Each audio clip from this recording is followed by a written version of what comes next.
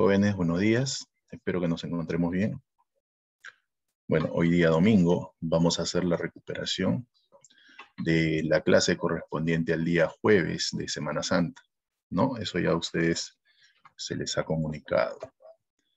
Muy bien, chicos. El día de hoy vamos a completar lo que nos ha faltado de la semana anterior, es decir, vamos a hablar de lo que son gráficas y funciones en los 10 o 15 primeros minutos máximo.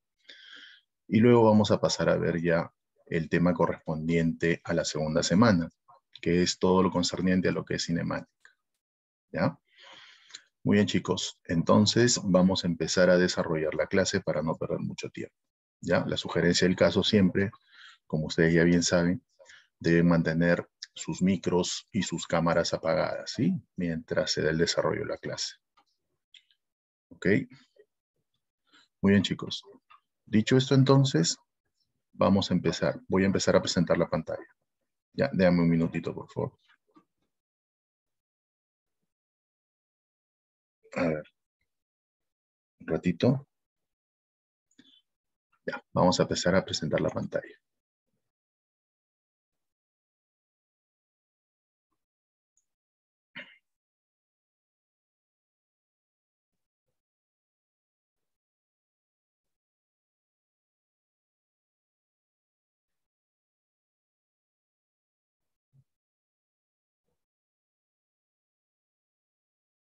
Muy bien, chicos. Vamos entonces a ver este tema rápido, que, bueno, es más que nada un aspecto matemático, ¿no? Como ya les había comentado yo en su debido momento. Este tema básicamente lo vemos por qué. Porque cuando a ustedes ya se les explicó la primera clase, se les dijo que cuando normalmente se analiza algún fenómeno, lo que normalmente tenemos que hacer es identificar de qué parámetros dependen principalmente los resultados. ¿Correcto? Entonces, cuando nosotros realizamos la experimentación y empezamos a ver, ¿no? Empezamos a tomar valores. Creo que en ese entonces te había puesto de ejemplo la caída de un cuerpo, ¿no? El tiempo que tarda en caer. Entonces nos damos cuenta, por ejemplo, que si yo quiero averiguar si el tiempo depende de la altura desde la cual he soltado el objeto o es lanzado el objeto, entonces lo mido, ¿no? Para una altura H1 tarda un tiempo 1, para una altura H2 tarda un tiempo 2, para una altura H3 tarda un tiempo 3.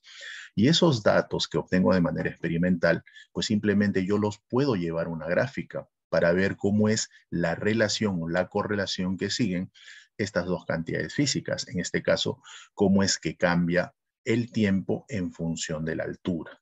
Y así podemos correlacionar diferentes tipos de cantidades físicas.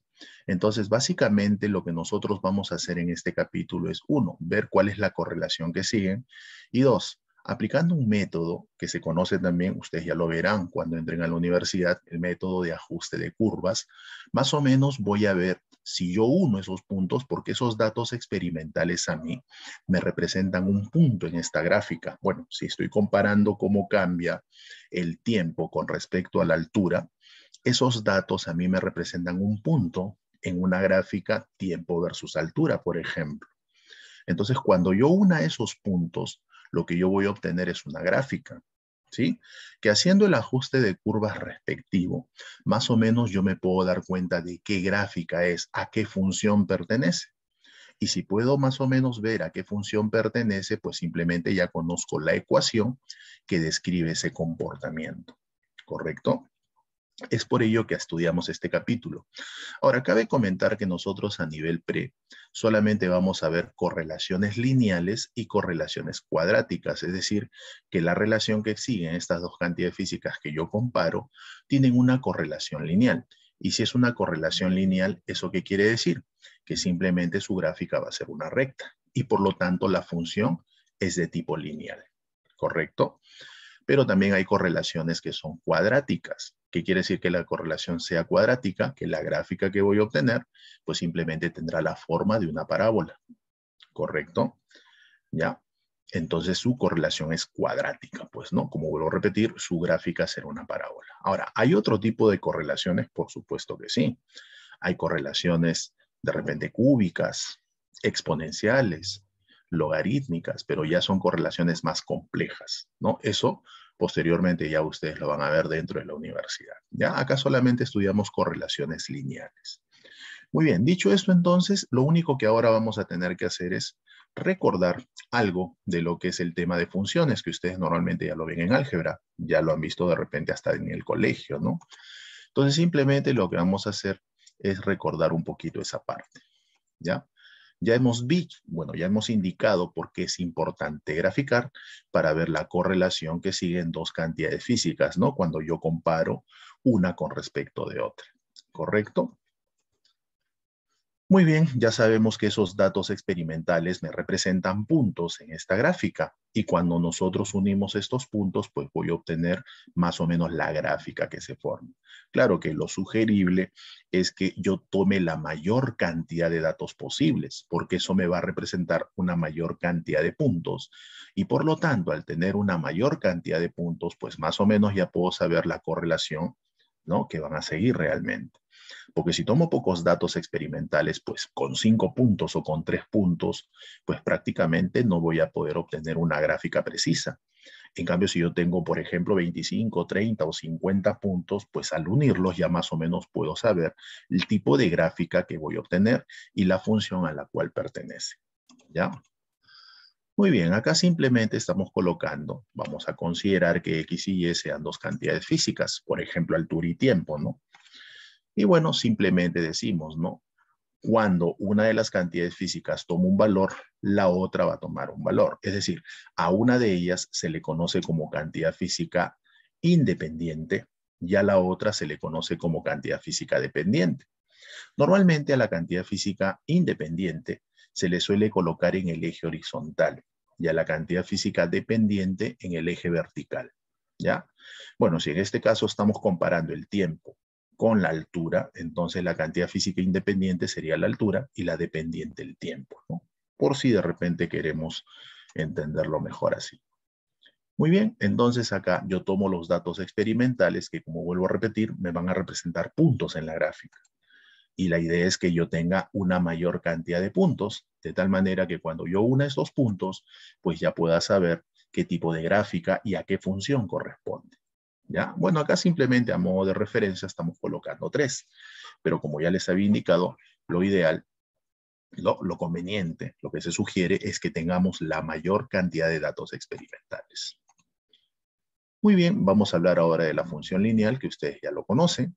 Simplemente la función lineal corresponde a una recta, ¿no?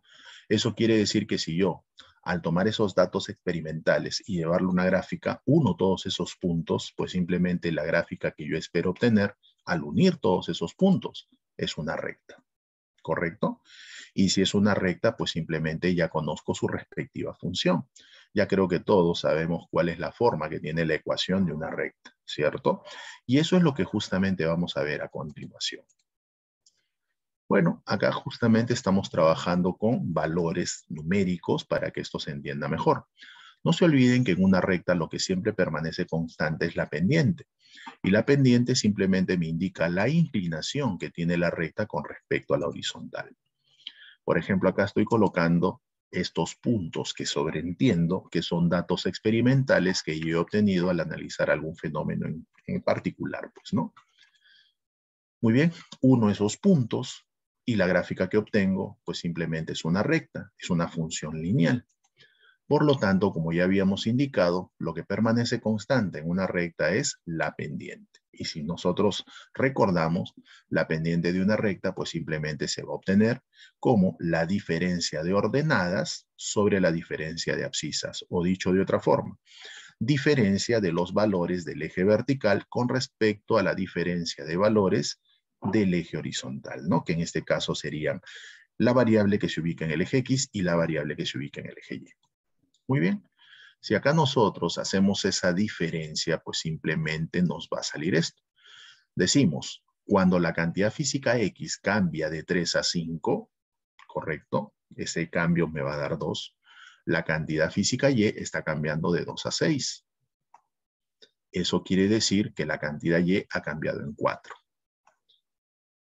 Si nosotros ahora analizamos la pendiente, pero tomando como referencia otros dos puntos, podríamos decir eso. La cantidad física X, cuando cambia de 5 a 8, la cantidad física Y ha cambiado de 6 a 12.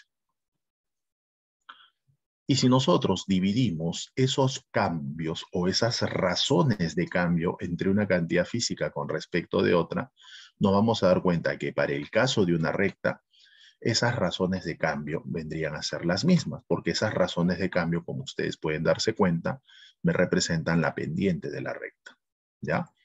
Y eso es lo que justamente permanece constante, como ya habíamos indicado, ¿no? En una recta lo que permanece constante es la pendiente, que si yo comparo cantidades físicas, esa pendiente comúnmente se le llama razón de cambio entre la cantidad física Y con respecto a la cantidad física X.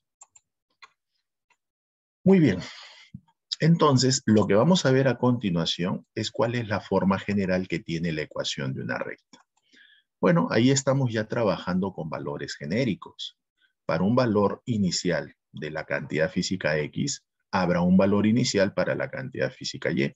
Y para un valor final de la cantidad física X, habrá un valor final para la cantidad física Y. Bueno, si considero que al unir esos puntos obtengo una recta, pues ya sabemos que la función es lineal. Muy bien. Entonces, simplemente si yo obtengo la pendiente, que si comparo dos cantidades físicas, como ya hemos dicho, es la razón de cambio entre la cantidad física Y con respecto a la cantidad física X, nosotros, pues simplemente esa pendiente nos sirve para que nosotros podamos construir la ecuación de la recta. ¿sí? Si ustedes recuerdan un poquito de matemática, ustedes pueden construir la ecuación de una recta conociendo la pendiente y algún punto de dicha recta. Y acá es lo mismo, pues, ¿no? Simplemente si yo conozco la pendiente y conozco algún punto de la recta, puedo construir su respectiva ecuación. ¿Ya? Muy bien. No se olviden que como ya habíamos indicado, lo que permanece constante en una recta es su pendiente. Entonces esa pendiente yo la puedo calcular si la diferencia entre los valores de la cantidad física X son muy grandes o son muy, muy, muy pequeños, porque eso permanece constante en cuanto a lo que es la pendiente, ¿no? O mejor dicho, en cuanto a lo que es una recta, lo que permanece constante es la pendiente, ¿ya? Muy bien, entonces, ya sabemos, o mejor dicho, ya hemos recordado cómo calcular la pendiente de una recta. Ahora lo que vamos a hacer es obtener su ecuación. Si en términos generales yo tuviera esta recta, ¿correcto? Como ustedes se pueden dar cuenta, si yo la prolongo, va a interceptar al eje vertical en este punto. A ese punto, si ustedes recuerdan, en álgebra le conocen como el intercepto, ¿sí? Entonces yo voy a poder construir la ecuación de una recta a partir de este punto intercepto y también a partir de su respectiva pendiente. ¿Ya? Entonces, si nosotros justamente eh, sabemos que el intercepto, como vuelvo a repetir, es el corte que experimenta la recta con el eje vertical, entonces con la pendiente y con el intercepto voy a poder construir la ecuación de la recta. ¿Ya? Simplemente como nosotros ya sabemos que la pendiente permanece constante, entonces voy a volver a calcular la pendiente tomando un punto genérico x, y con el intercepto. ¿Sí? Ya sabemos que el intercepto tendría coordenadas 0, b. Entonces, si aplicamos diferencia de ordenadas, que en este caso sería y, o sea, el punto genérico y, menos ¿no? el y de ese punto conocido, que en este caso es b, el intercepto, entre diferencia de abscisas, que en este caso sería el x genérico, menos el x del punto conocido, que en este caso es 0. De acá, si nosotros despejamos, obtendríamos esta ecuación, que es la ecuación que ustedes ya lo conocen, pues, ¿no? Es decir, esta es la forma general que va a tener la ecuación de una recta. Se va a calcular de esa manera. Simplemente la suma entre el intercepto más la pendiente multiplicado por x. ¿Ya? X obviamente es la cantidad física independiente, dijimos, ¿no? Y Y es la cantidad física dependiente. Muy bien. Bueno, acá simplemente vamos a ver un ejemplo genérico con valores numéricos, ¿ya? Pero muy allá de ello, ustedes ya deben recordar que esta ecuación nosotros la vamos a ver con frecuencia en el tema de cinemática, sobre todo cuando analicemos movimientos, ya sea el MRU o el MRV. Nosotros justamente vamos a podernos dar cuenta que al comparar cómo cambia la posición en función del tiempo, nos vamos a dar cuenta que tiene la forma de la ecuación de una recta. Y si analizamos el MRV, nos vamos a dar cuenta cómo es que cambia la velocidad en función del tiempo. Y también nos vamos a dar cuenta que tiene la forma de la ecuación de una recta. ¿Ya? Pero eso ya lo vamos a ver más adelante. No creo que sea hoy día, ¿no? Si, si el tiempo nos da, llegaríamos a este MRU. Caso contrario, ya lo veríamos con más tranquilidad el día martes, ¿ya? Por si acaso. Muy bien, vamos a ver entonces un ejemplo con números. Dice, hay la ecuación de la recta que pasa por los puntos 1,8 y 2,4. Miren, como yo ya les había comentado, yo puedo obtener la ecuación de una recta conociendo la pendiente y un punto de la recta. O también podríamos construir la ecuación de una recta si yo conociera dos puntos de la misma. ¿Por qué? Porque con dos puntos de la recta yo puedo obtener su pendiente. Y ya conociendo su pendiente, tomo un valor genérico, un valor genérico x, y, y un punto que es dato, pues, ¿no? Y de esa manera ya puedo construir su respectiva ecuación. Muy bien. Si gustas, vamos a ubicar esos puntos en este sistema de coordenadas y finalmente vamos a más o menos graficar la recta. Muy bien. Lo primero que vamos a hacer, como ya habíamos indicado, es calcular su pendiente. Bueno, ya sabemos que sería diferencia de ordenadas sobre diferencia de abscisas o como lo hemos visto en diapositivas anteriores, ¿no? Cuando el valor de x cambia de 1 a 2, esa razón de cambio de la cantidad física x es 1. Es decir, cuando la cantidad física x cambia de 1 a 2, la cantidad física y ha cambiado de 8 a 4. ¿Sí? Muy bien, entonces de esa manera obtenemos la pendiente. Ahora, en este caso, la pendiente nos ha salido negativa. ¿Por qué negativa? Porque la recta se está inclinando hacia la izquierda. Si la recta se hubiera inclinado hacia la derecha, pues simplemente esa pendiente hubiera sido positiva, ¿ya? Pero si la recta se inclina hacia la izquierda, su pendiente por si acaso es negativa. Muy bien, entonces lo único que hago es con la pendiente vamos a poder hallar, si utilizo la ecuación con el punto de intercepto, voy a poder obtenerla. Lo único que simplemente hago es reemplazar. Como m es la pendiente que nos ha salido menos 4, reemplazo acá y luego simplemente utilizo un punto que es dato de la recta. En este caso estoy utilizando el punto 2,4. Como pertenece a la recta, debería cumplir su respectiva ecuación. Entonces reemplazo, ¿no? Cuando lleva 4, x vale 2. Y de esa manera voy a poder obtener el punto intercepto, que en este caso me ha salido 12. Ya conociendo el intercepto, que es 12, pues simplemente ya puedo construir la ecuación de la recta. ¿Correcto? Que más o menos tendría esta forma, ¿no? 12 menos 4x. Bueno, ya sabemos que el negativo nos indica que la pendiente eh, corresponde a una recta que se inclina hacia la izquierda. ¿Correcto, chicos? Entonces, esto es lo que nosotros tenemos que recordar para poder correlacionar dos cantidades físicas que, valga la redundancia, siguen una correlación lineal. Muy bien, entonces, ¿cómo yo me doy cuenta que me están hablando de una correlación lineal? O es decir, ¿cómo yo me doy cuenta que entre la cantidad física X y Y la correlación es lineal? Es decir, su gráfica es una recta y por ende su función corresponde a una función lineal, a la ecuación de una recta. Cuando te digan esto, pues no, que la gráfica es una recta, que la razón de cambio entre la cantidad X con respecto a la cantidad de X es un valor constante. Ya, esto es lo que se cumple. Ya sean los cambios de X muy grandes o muy pequeños, como ya sabemos que esa razón de cambio coincide con la pendiente, la pendiente de una recta sabemos que es constante. Ahora, si yo tuviera rectas que son paralelas, ojo, no quiere decir que van a tener el mismo intercepto, van a tener diferentes interceptos, ¿correcto? Claro, matemáticamente el intercepto es un número, pero si nosotros comparamos dos cantidades físicas, el intercepto me representa la cantidad física que toma una de ellas cuando la otra toma el valor de cero. ¿Ya? Entonces, en física sí es muy importante poder hacer esa diferencia, ¿correcto?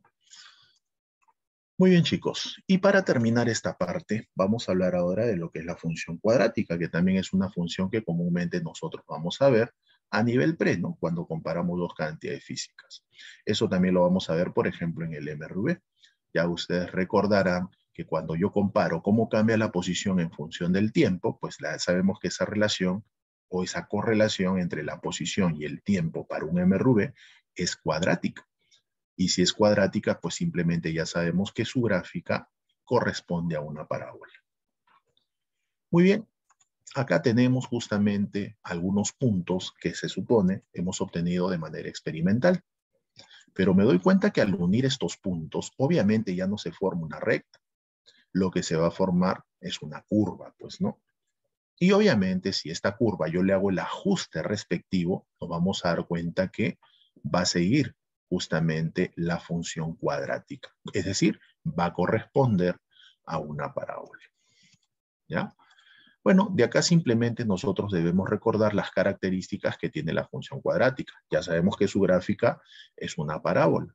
Ahora, la parábola puede ser que se abra o bien hacia arriba, o la parábola puede ser que se abra hacia abajo. ¿Cuál es la diferencia? La diferencia es que si el coeficiente principal, ustedes ya saben que el coeficiente principal es el coeficiente del término independiente al cuadrado.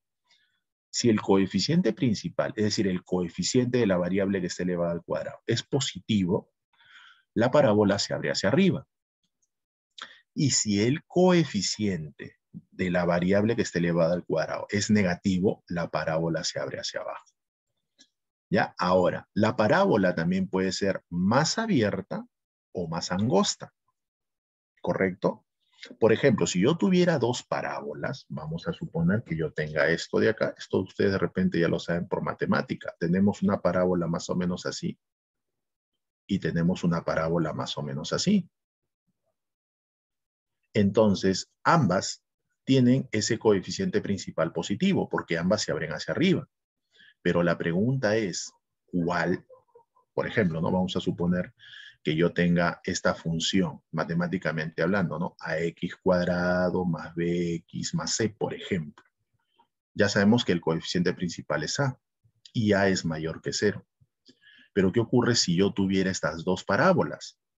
Entonces la pregunta sería, ¿cuál de su coeficiente principal es mayor? Entonces obviamente será mayor aquella parábola que sea más angosta. Es decir, aquella parábola que no sea tan abierta tendrá un mayor coeficiente principal. Por ejemplo, si esta fuera la función cuadrática de la parábola que está arriba, por ejemplo, vamos a ponerle a1x al cuadrado más b1x más c1, entonces me voy a dar cuenta que a sería mayor que a1. Ya, les hago este comentario porque más adelante, cuando ya veamos la parte de cinemática y analicemos la función cuadrática, nos vamos a dar cuenta que A me representa la aceleración. ¿Sí? Cuando analicemos movimientos, sobre todo de MRV. Y nos van a presentar una gráfica parecida a las que justamente estamos viendo. Las dos van a ser abiertas hacia arriba o de repente abiertas hacia abajo, no lo sé. En el supuesto que fueran abiertas hacia arriba, ya sabemos que ambos coeficientes van a ser positivos, mayores que cero, por eso que la parábola se abre hacia arriba. Pero dependiendo de si uno es mayor que el otro, obviamente la parábola se hace más abierta o más angosta. ¿Ya? No se olviden, si es más angosta es porque el coeficiente principal de esa parábola es mayor que aquel coeficiente principal de la parábola que es más abierta. ¿Ya? Mucho cuidado entonces en ese sentido. Muy bien, esto es a modo de comentario. Y acá simplemente lo que vamos a tener que hacer es conocer algunos elementos de la parábola para que a partir de allí podamos construir su ecuación. Bueno, vamos a tener que conocer las coordenadas de su vértice, ¿correcto? Que comúnmente lo representamos de esa manera, h, k. Ese es el vértice de la parábola y vamos a tener que conocer un punto genérico de la misma. Entonces, ¿cómo yo justamente obtengo la ecuación de una parábola? Yo la voy a obtener de esta manera, tal y como lo estamos viendo acá. Si este K yo lo paso a restar, más o menos nos va a quedar justamente esta relación. Ahí está. Y menos K es igual a C multiplicado por X menos H y esto elevado al cuadrado. ¿Ya? No se olviden, no se olviden que K y H son las coordenadas del vértice, o h, k es o son las coordenadas del vértice. ¿Ya? No se olviden de esto y acá justamente lo que ya les había comentado. Pues no, si el coeficiente principal es mayor a cero, la parábola se abre hacia arriba. Si el coeficiente principal es menor a cero, la parábola se abre hacia abajo. ¿Correcto, chicos? ¿Ya? Entonces no olvidar esto que es importante también. Bueno, normalmente a esto se le conoce justamente como el parámetro, ¿no? Que creo que ustedes cuando ven eh, geometría analítica, acá no le ponen C, le ponen 4P. Pero 4 es una constante, P es una constante, entonces 4P es una constante. Acá simplemente lo estamos reemplazando por una letra C. ¿No? Por si acaso, ¿ya? O sea, en geometría analítica a ese parámetro le ponen 4P, creo, ¿no?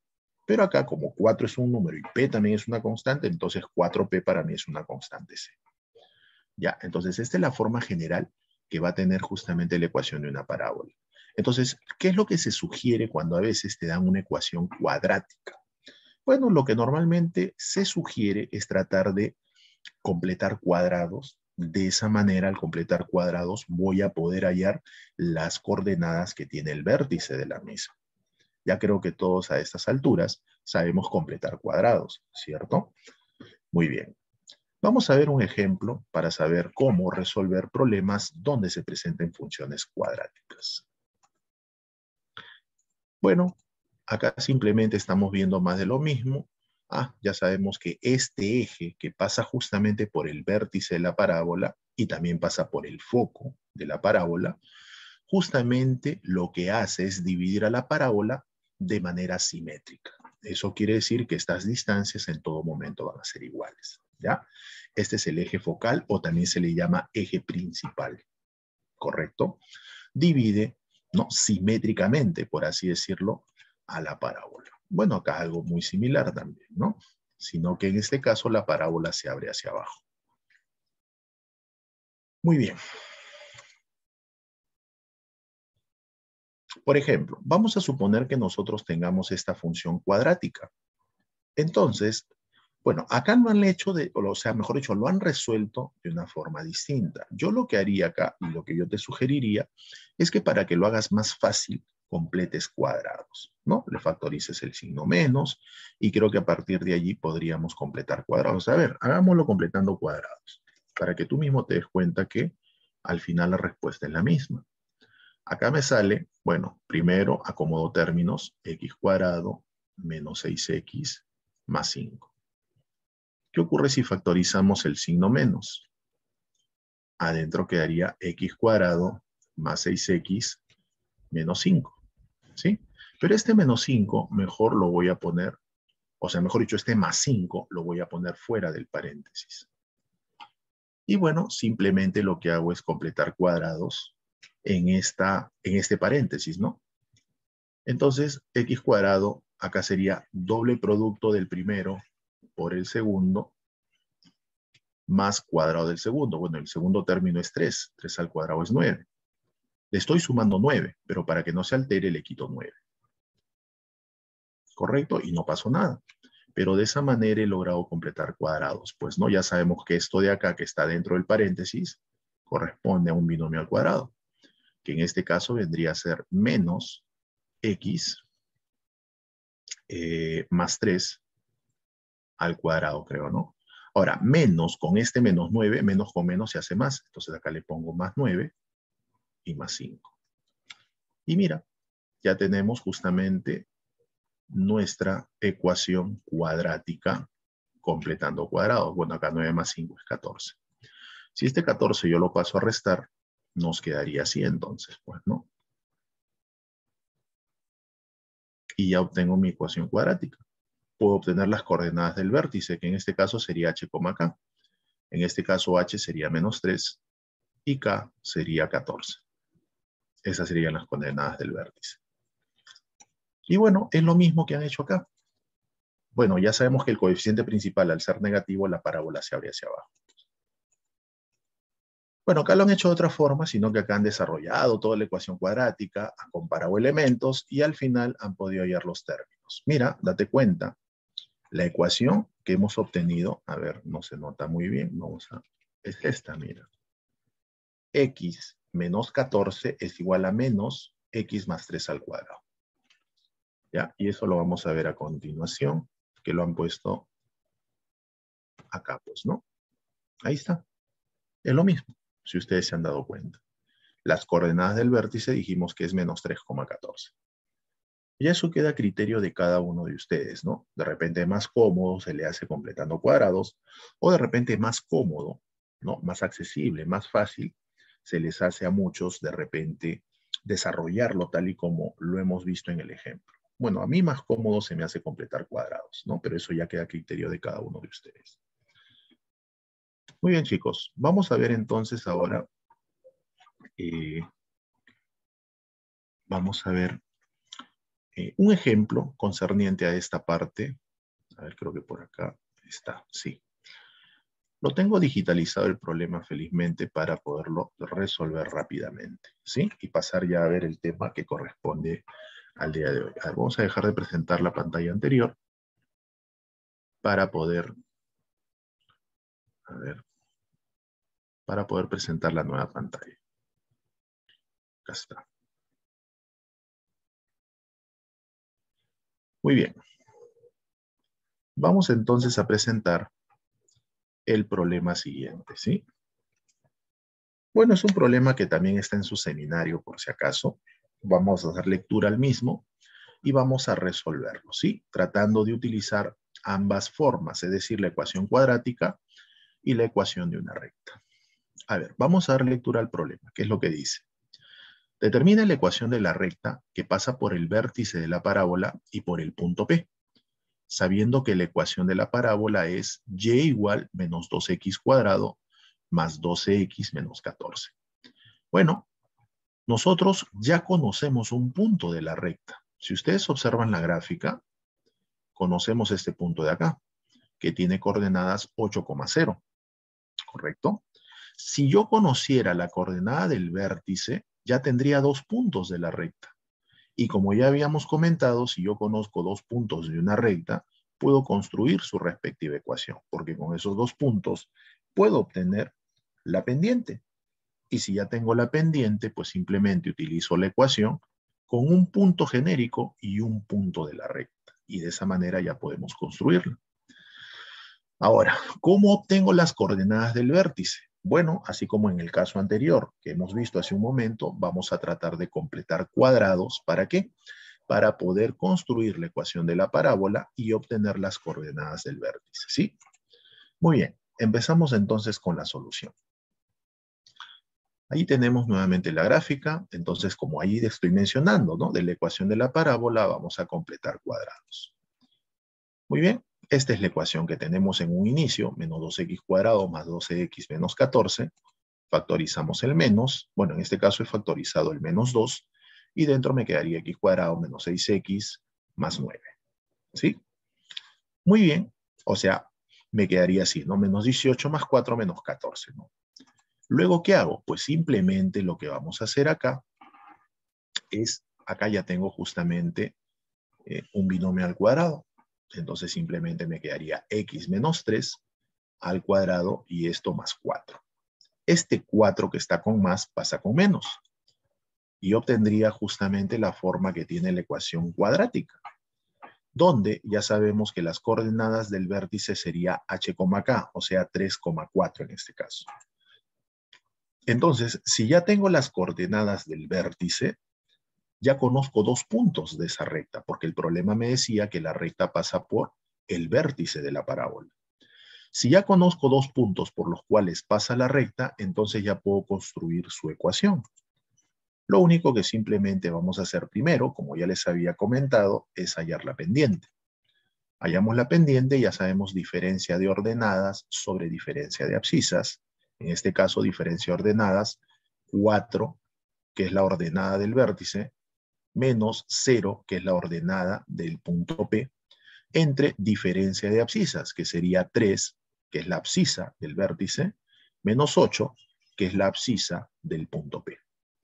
Bueno, si hacemos la diferencia, como ya ustedes bien saben, la recta al ser inclinada hacia la izquierda, me va a salir su pendiente negativa. Y de acá corroboramos que la pendiente es menos 4 quintos. Muy bien, con la pendiente Ahora, ¿qué simplemente voy a hacer? Voy a utilizar nuevamente la ecuación de la pendiente, pero ya tomando un punto genérico de la recta y un punto que es dato, que en este caso el punto que he tomado como referencia es 3,4. Y un punto genérico x, y. Calculo de la misma forma la pendiente, pero como la pendiente ya se conoce, Pues simplemente lo que hacemos es multiplicar en aspa. Al multiplicar en aspa me va a quedar esto, ¿no? 5y menos 20 es igual a menos 4x más 12. Reacomodamos términos, ¿no? Despejamos 5y es igual a menos 4x más 32 porque el 20 pasa a sumar. Y finalmente, si el 5 que está multiplicando al y pasa a dividir, obtendríamos justamente esa expresión, ¿no? Es decir, y es igual a menos 0,8x más 6,4. Bueno, si nosotros comparamos con las alternativas, la alternativa que coincide con la respuesta que hemos obtenido sería la alternativa E. ¿Correcto? Como les decía, ¿no? Básicamente este tema es para que nosotros entendamos que muchas veces cuando trabajamos con cantidades físicas, lo que hacemos es tratar de ver qué correlación siguen dos cantidades, ¿sí? Y de esa manera puedo saber la correlación y efectivamente obtener la función que describe su comportamiento. Muy bien, chicos, tómenle una captura ya para pasar a ver el tema de cinemática. ¿sí? Bueno, creo que me he demorado más de los 10 o 15 minutos que les dije. Un poquito más, media hora. Bueno, vamos rápidamente entonces a ver este tema. Si ya le tomaron captura, vamos a dejar de presentar entonces y vamos a pasar a ver el tema de cinemática. A ver, un momentito. Dejamos de presentar esto. A ver, un ratito. ¿Dónde estás? Bueno, esto ya lo cerramos. Esto también.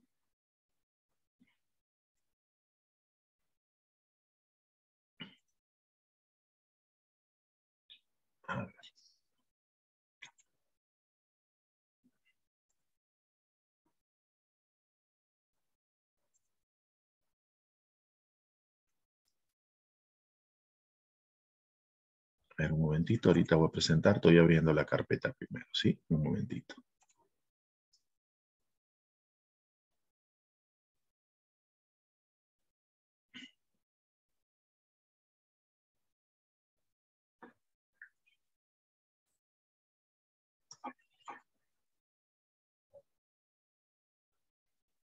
Muy bien, chicos. Vamos entonces a presentar eh, la parte teórica concerniente a lo que es cantidades cinemáticas.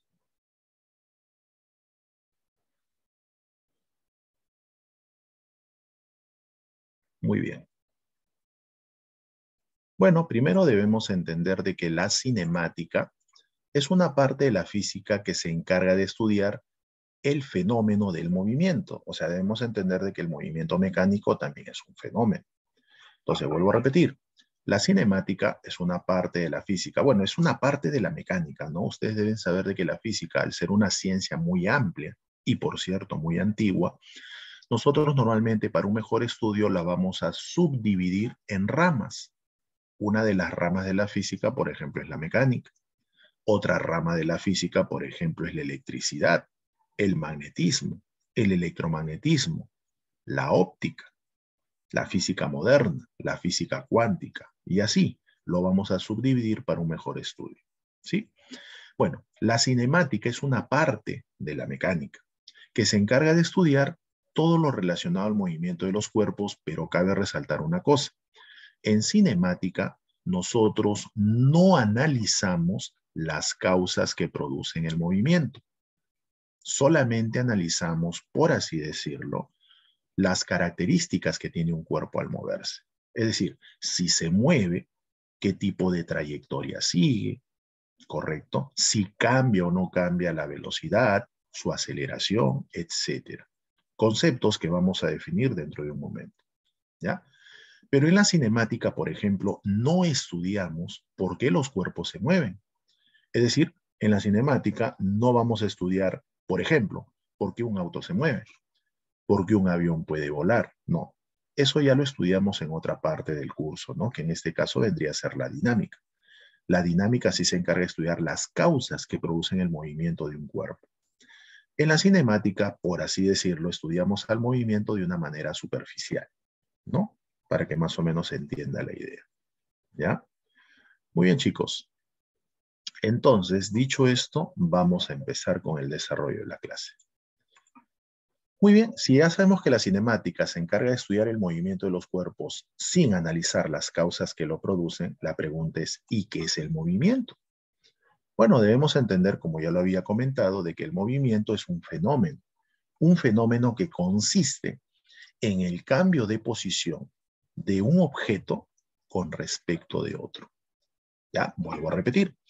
El movimiento es un fenómeno que consiste en el cambio de posición de un objeto con respecto del otro. Ahora, cabe resaltar lo siguiente. Cuando nosotros normalmente estudiamos eh, el tema de cinemática, utilizamos el término partícula. ¿Ya? Pero acá quiero aclarar algo muy importante. De repente, cuando ustedes escuchan la palabra partícula de química, ustedes saben que lo relacionan con algo que es muy pequeño, ¿cierto? Pequeñito, muy pequeño. Ya, en física no lo vamos a ver de esa forma. En física, desde el punto de vista cinemático, escúchame bien, vamos a considerar que una partícula es aquel objeto del cual se va a analizar su movimiento y además vamos a considerar que este cuerpo o este objeto al moverse solamente va a experimentar movimiento de traslación. Por ejemplo, si yo voy a analizar el movimiento de un carro y considero que el carro solamente experimenta movimiento de traslación, para mí el carro será una partícula. Si yo voy a analizar el movimiento de un avión y considero que el avión solo se traslada, entonces para mí el avión será una partícula. A no ser que el avión empiece a dar vueltas, pues no, haga sus piruetas y dé vueltas en el aire, ya no sería una partícula. ¿Ya? Entonces, desde el punto de vista cinemático, en física llamamos partícula a aquellos cuerpos que al, al analizar su movimiento vamos a considerar que estos solamente experimentan movimiento de traslación, no de rotación, tampoco de vibración. Más adelante, ya cuando lleguemos a la parte de eh, lo que ustedes conocen como el torque. O equilibrio de un cuerpo rígido, ya vamos a hablar de lo que es básicamente, justamente, no valga la redundancia, un cuerpo rígido. Ya, una cosa es una partícula que vamos a considerar, vuelvo a repetir, desde el punto de vista cinemático, que el cuerpo al moverse solo experimenta movimiento de traslación, no de rotación, ¿ya? No de vibración. Eso quería aclarar. Muy bien, entonces, volviendo al tema, ¿qué es el movimiento? Es al que el fenómeno que mide el cambio de posición que experimenta un cuerpo con respecto de otro. ¿Ya? O dicho de otra forma, es el cambio de posición que experimenta una partícula con respecto de otro.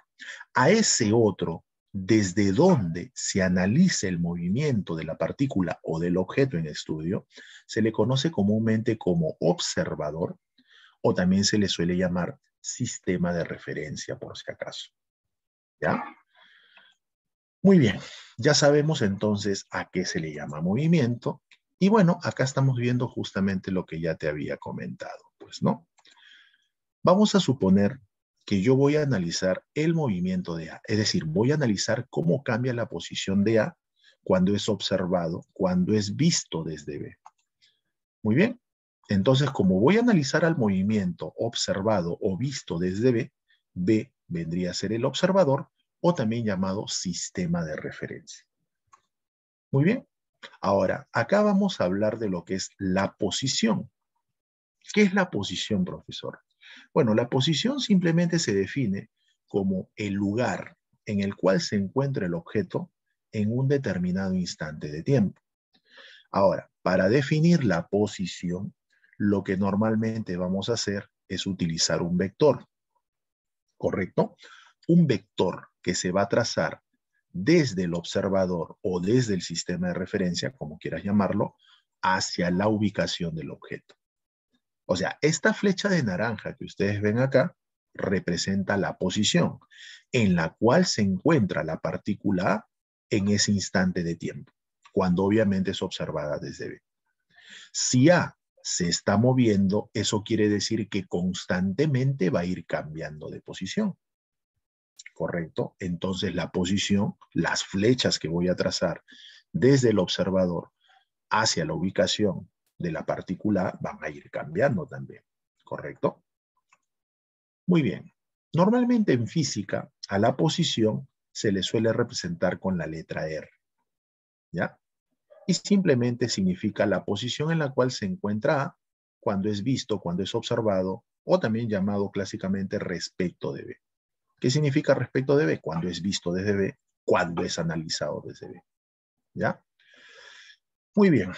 Ahora, como ustedes se han podido dar cuenta, A no está quieto. A se ha movido. Entonces, al moverse, ya cambió de posición. Entonces, para definir o para fijar su posición final, nuevamente voy a trazar un vector desde el observador o desde el sistema de referencia hacia esa nueva ubicación. ¿Correcto? Entonces, como A ha cambiado de posición cuando ha sido analizado desde B, entonces, ¿qué podríamos decir? Que la partícula A se está moviendo respecto de B. ¿Correcto? Ahora, acá hay que citar algo que es muy importante. Cuando nosotros queremos definir el movimiento, siempre tenemos que fijar nuestro observador o nuestro sistema de referencia, porque ustedes deben saber de que el movimiento es relativo. El movimiento depende del sistema de referencia que se tome ¿sí? en cuenta. Es decir, dependiendo del sistema de referencia que yo pueda tomar en consideración, el movimiento va a cambiar de características, sobre todo su trayectoria. ¿no? Por ejemplo, imagínate que vamos a ponernos en dos situaciones. Vamos a suponer que una persona se ubica dentro de un, de un ómnibus ya, de un micro, que vamos a considerar que se mueve con velocidad constante. ¿Correcto? Y una persona está fuera del micro, en el paradero, vamos a suponer. ¿Ya? Entonces vamos a analizar el movimiento de una moneda, pero visto desde dos observadores distintos. Por ejemplo, vamos a analizar el movimiento de la moneda, primero, cuando es visto desde la persona que está dentro del ómnibus, dentro del micro. Vamos a suponer que esta persona que está dentro del micro lanza una moneda de manera vertical hacia arriba. Entonces, si queremos saber qué trayectoria sigue la moneda para esta persona que está dentro del micro, nos vamos a dar cuenta que la trayectoria que sigue es una recta vertical. Y claramente nos damos cuenta de ello porque si nosotros estamos en el micro y lanzamos la moneda, tenlo por seguro que la moneda, luego de describir su trayectoria, va a caer en tu mano. En cambio, si ese mismo movimiento de la moneda, que lo hemos lanzado desde el micro en movimiento, lo analizamos desde afuera, desde el paradero, desde una persona que se ubica fijo a tierra, para la persona la trayectoria que ha seguido la moneda no es una recta. La persona que se quedó afuera, que está fuera del micro, fuera del ómnibus, se va a dar cuenta de que la moneda ha descrito como trayectoria una curva. Bueno, que en física se conoce comúnmente como una curva parabólica. ¿Y eso por qué, profesor? Porque no se olviden que la persona al estar fuera del micro, fuera del ómnibus, no tenía el movimiento de este. En cambio, la persona que estaba dentro del micro estaba avanzando de manera conjunta con la moneda. Entonces, cuando la moneda se lanza hacia, bueno, de manera vertical hacia arriba, no olvidar que la moneda ya tenía una velocidad, producto del movimiento del ómnibus, del micro. Entonces, cuando la persona lanza de manera vertical la moneda, los dos de manera horizontal van a avanzar de manera conjunta. Es por eso que para la persona que está dentro del micro, la moneda describiría una trayectoria vertical, porque esa persona no va a sentir el efecto del movimiento horizontal, ya que ambos se mueven de manera simultánea, tanto la moneda como la persona. Por eso que para la persona que está dentro del micro, la trayectoria que ha seguido la moneda es vertical. En cambio, la persona que se quedó fuera no tiene esa velocidad del ómnibus, del micro. Entonces, ella va a observar claramente que la moneda tiene una velocidad proporcionada por el micro de manera horizontal y una velocidad vertical proporcionada por la persona. Como resultado de esos dos movimientos, de esas dos velocidades, es que la moneda para la persona que se quedó afuera describe una trayectoria de tipo parabólica. Por eso decimos, es muy importante que para que nosotros podamos describir el movimiento de un cuerpo, de una partícula, fijemos primero nuestro sistema de referencia, nuestro observador. ¿Ya? Entonces, este es motivo de muchas preguntas teóricas, por eso lo quiero aclarar. Para describir el movimiento de un cuerpo es indispensable, primero, fijar un sistema de referencia, un observador. Ahora, acá tengan mucho cuidado, no confundir sistema de referencia u observador con sistema de coordenadas, que es una cosa muy diferente. Les hago ese comentario porque ha habido preguntas donde le dicen, ¿no? Para describir el movimiento de un cuerpo es necesario contar con un sistema de coordenadas. Y eso es falso. Lo que sí es indispensable para describir el movimiento de un cuerpo es contar con un sistema de referencia o con un observador, no con un sistema de coordenadas. Profesor, ¿y el sistema de coordenadas para qué sirve? Bueno, el sistema de coordenadas básicamente nos sirve para que nosotros podamos cuantificar el movimiento. Cuando nosotros hemos visto el tema de vectores, hemos visto que en un sistema de coordenadas, a cada uno de esos ejes coordenados le hemos asociado una orientación, ¿no? Porque comúnmente nosotros vamos a trabajar con cantidades físicas vectoriales. Y como todo vector, nosotros ya sabemos que tiene dos elementos, módulo y orientación. ¿Correcto? Es por eso que normalmente cuando nosotros trabajamos con sistemas de coordenadas es para que nosotros podamos cuantificar el fenómeno en estudio, en este caso el movimiento. ¿Por qué? Porque cada uno de esos ejes coordenados, como vuelvo a repetir, se le ha asignado o se ha definido una orientación en cada uno de esos ejes. ¿Correcto? Muy bien, chicos. Dicho esto entonces, vamos a ver algunos elementos. Bueno, nuevamente tenemos el mismo caso, la misma situación, sino que ahora el objeto del cual se va a analizar su movimiento lo vamos a analizar en un determinado instante de tiempo t. Bueno, el objeto del cual se va a analizar su movimiento, que ya sabemos que se le llama partícula, también se le suele llamar observable. Y al objeto que va a analizar ese movimiento se le conoce como observador o también sistema de referencia. Muy bien, ese vendría a ser el vector posición inicial, pero como ya sabemos que el cuerpo se mueve, constantemente está cambiando de posición.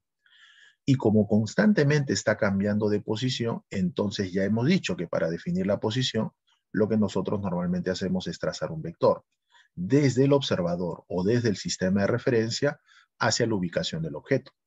Es por eso que esas flechas que ustedes ven nos representan los diferentes, o mejor dicho, las diferentes posiciones en las cuales estuvo el objeto durante un cierto instante de tiempo. Ahora, si nosotros unimos todas esas posiciones en las cuales se encontró el objeto en un determinado instante de tiempo, vamos a formar una línea imaginaria, una curva imaginaria. Justamente esa curva o línea imaginaria que describe un cuerpo al moverse es lo que nosotros conocemos como trayectoria. ¿Correcto? Por ejemplo, si ustedes agarran, de repente, vamos a suponer que en su mesa tengan un borrador, lo agarras, ¿no? Y lo sueltas desde la mesa hacia el piso, te vas a dar cuenta de que efectivamente ese borrador se va a mover describiendo una línea imaginaria. O sea, en este caso su trayectoria es una recta. O sea, ¿qué es la trayectoria? Vuelvo a repetir, es la línea imaginaria que describe un cuerpo al moverse. ¿Ya? No se olviden de eso, por favor, que es importante también. Muy bien, entonces ya sabemos qué es la trayectoria. Muy bien, como ya habíamos indicado, la trayectoria va a depender del observador o del sistema de referencia que se tome en consideración. ¿Ya? No olvidar esto. Muy bien, Vamos a continuar con los mismos elementos. Ahí tenemos la partícula o el observable, como quieras llamarlo. Y lo que vamos a hacer solamente es analizar una pequeña porción o un tramo de esa trayectoria total que describió el cuerpo al moverse. Por ejemplo, si consideramos que desde acá empezó a analizarse el movimiento, entonces podríamos decir que este es el instante de tiempo inicial cero. ¿Correcto? Ahora, el cuerpo empezó a moverse, describió su trayectoria, pero yo voy a analizar su movimiento en una porción de esa trayectoria. Por ejemplo, lo voy a analizar desde esta posición hacia esta posición. ¿Correcto? Voy a analizar justamente en ese trayecto el movimiento del objeto. Muy bien, entonces desde esta posición donde está el puntero hacia esta posición ha transcurrido un intervalo de tiempo, porque acá obviamente será un instante de tiempo inicial, TI por ejemplo, y un instante de tiempo final, TF. Entonces, del instante de tiempo inicial TI al instante de tiempo final TF ha transcurrido un intervalo de tiempo, el cual lo puedo calcular como la diferencia entre esos instantes de tiempo. Muy bien, lo que voy a hacer ahora es fijar ambas posiciones trazando un vector. Este RI me representa el vector posición inicial en el instante TI y este vector me representa el vector posición final en el instante TF. Muy bien. Lo que vamos a hacer a continuación es definir algunas cantidades físicas que son necesarias para poder estudiar el movimiento mecánico de un cuerpo. ¿Correcto? Muy bien. Empecemos entonces definiendo algunas cantidades cinemáticas para estudiar el movimiento mecánico de un cuerpo. Primero, vamos a hablar de lo que es el desplazamiento. ¿Ya? ¿A qué llamamos desplazamiento? Bueno, el desplazamiento es una cantidad física vectorial, ¿correcto? Es decir, es un vector. ¿Y qué mide el desplazamiento?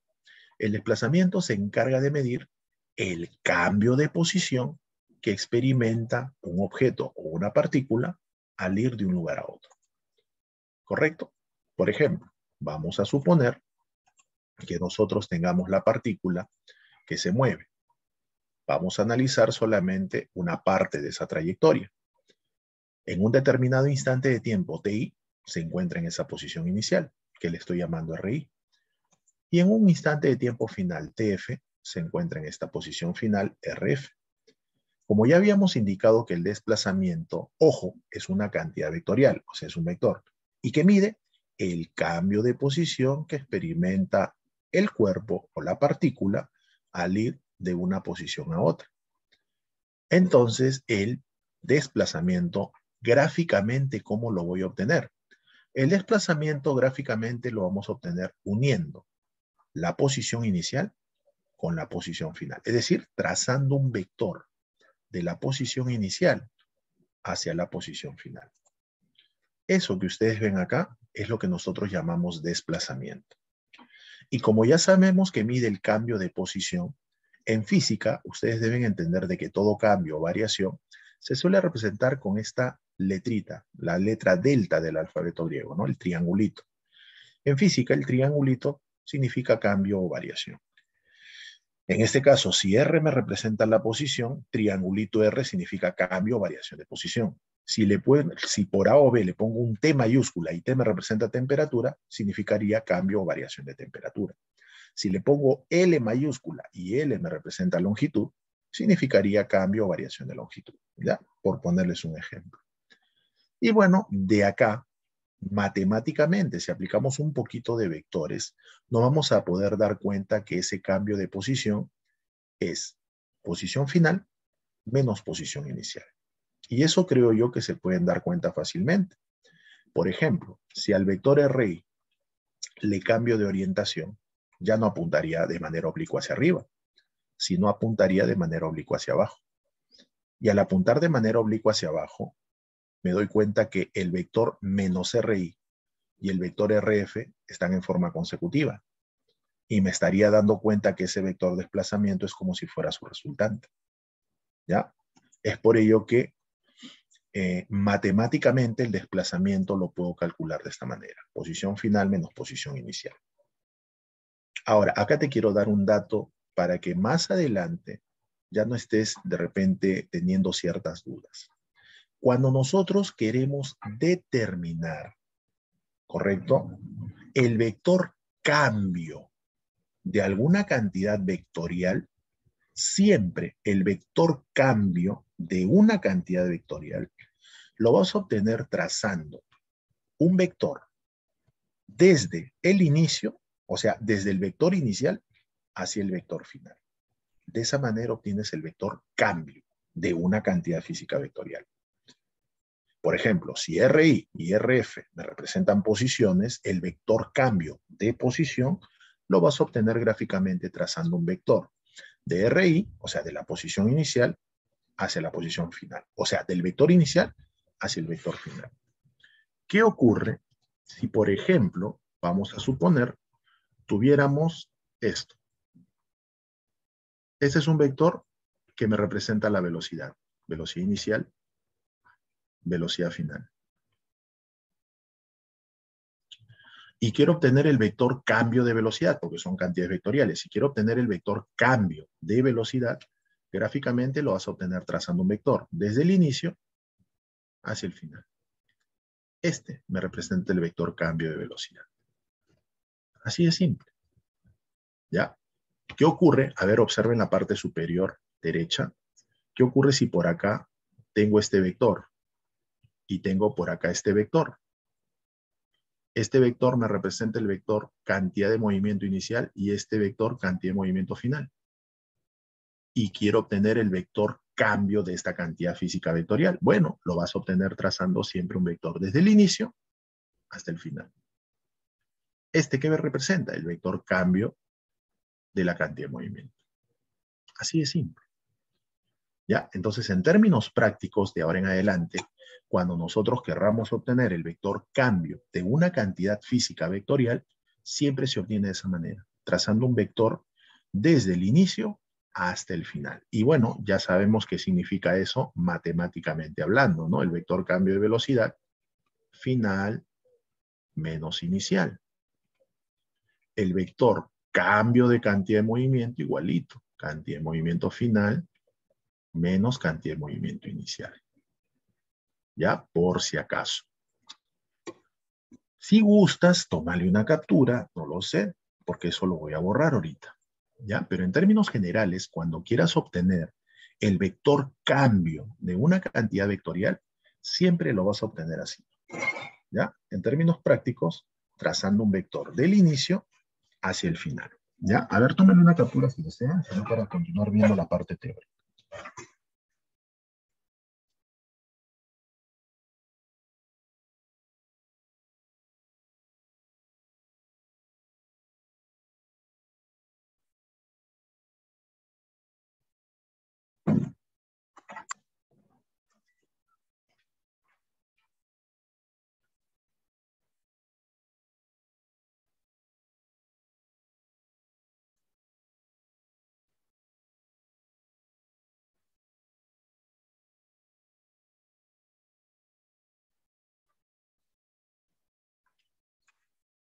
Muy bien, chicos. Un ratito, díganme, por favor, 30 segunditos.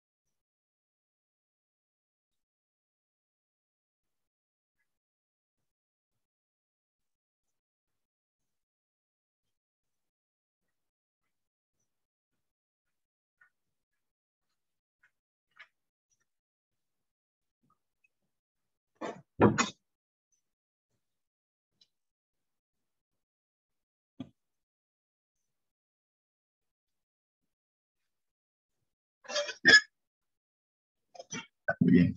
Salimos de acá entonces. Creo que esto ya quedó claro. Ahora sí lo borro. Muy bien. Vamos entonces a continuar. ¿Correcto, chicos? Muy bien. Por si acaso, al módulo del desplazamiento también se le suele llamar distancia, ¿ya? Ese es un comentario que quería hacer. Muy bien, ya hemos definido entonces una primera cantidad física, lo que nosotros hemos llamado desplazamiento. No se olviden, el desplazamiento es una cantidad vectorial. Vamos a hablar ahora de lo que es la longitud recorrida. La longitud recorrida, por si acaso, es una cantidad física de tipo escalar. O sea, se va a encontrar bien definida si nosotros especificamos su magnitud. ¿Ya? No se olviden de eso. Por acá me preguntan, profesor, ¿es necesario que el observador se mantenga en reposo? No. El observador, el sistema de referencia, como ya hemos indicado, creo que en el ejemplo que te puse, puede estar en reposo, puede estar moviéndose. Y si se mueve, se puede mover con velocidad constante o de forma acelerada, ¿ya? O sea, entender que el observador o sistema de referencia es el lugar desde donde se analiza el movimiento. Puede estar en reposo o puede estar moviéndose. Y si se mueve, puede estar moviéndose con velocidad constante o con aceleración. Muy bien. Entonces, vamos a definir ahora lo que es longitud recorrida. La longitud recorrida, por si acaso, simplemente vendría a ser la longitud que posee justamente la trayectoria, ¿correcto? Así de simple. Eso es longitud recorrida. Por ejemplo, si analizamos el mismo esquema, tenemos ahí el observador, ¿no? O sistema de referencia, tenemos el objeto o la partícula del cual se va a analizar su movimiento, y al moverse ya sabemos que describe esa curva o línea imaginaria, que es la trayectoria. La longitud recorrida simplemente vendría a ser la longitud de esa trayectoria o la longitud de un tramo de la trayectoria, ¿no? Dependiendo de qué tramo estés analizando. Por ejemplo, allí estamos analizando en ese intervalo de tiempo, entre el instante de tiempo TI y el instante de tiempo TF. Entonces, la longitud de ese trayecto entre esas posiciones es lo que nosotros llamaremos longitud recorrida. ¿ya? Y como vuelvo a repetir, la longitud recorrida es una cantidad física escalar. ¿ya? No tiene orientación, por si acaso, solo magnitud. Muy bien, a eso nosotros entonces le llamaremos longitud recorrida. Ahora, si nosotros queremos hacer una comparación sencilla entre la longitud recorrida y el módulo del desplazamiento, como la longitud recorrida en términos generales no necesariamente es una recta. Podría ser una recta, sí, pero en la mayoría de casos es una curva. Es por ello que la longitud recorrida va a tener una mayor longitud que el módulo del desplazamiento.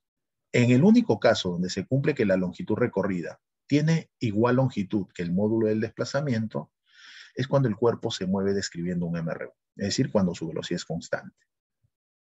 ¿ya? Allí se cumple que la longitud recorrida es igual al módulo del desplazamiento. Pero en otro tipo de movimientos, siempre la longitud recorrida tiene más longitud que el módulo del desplazamiento, ¿ya? Por si acaso.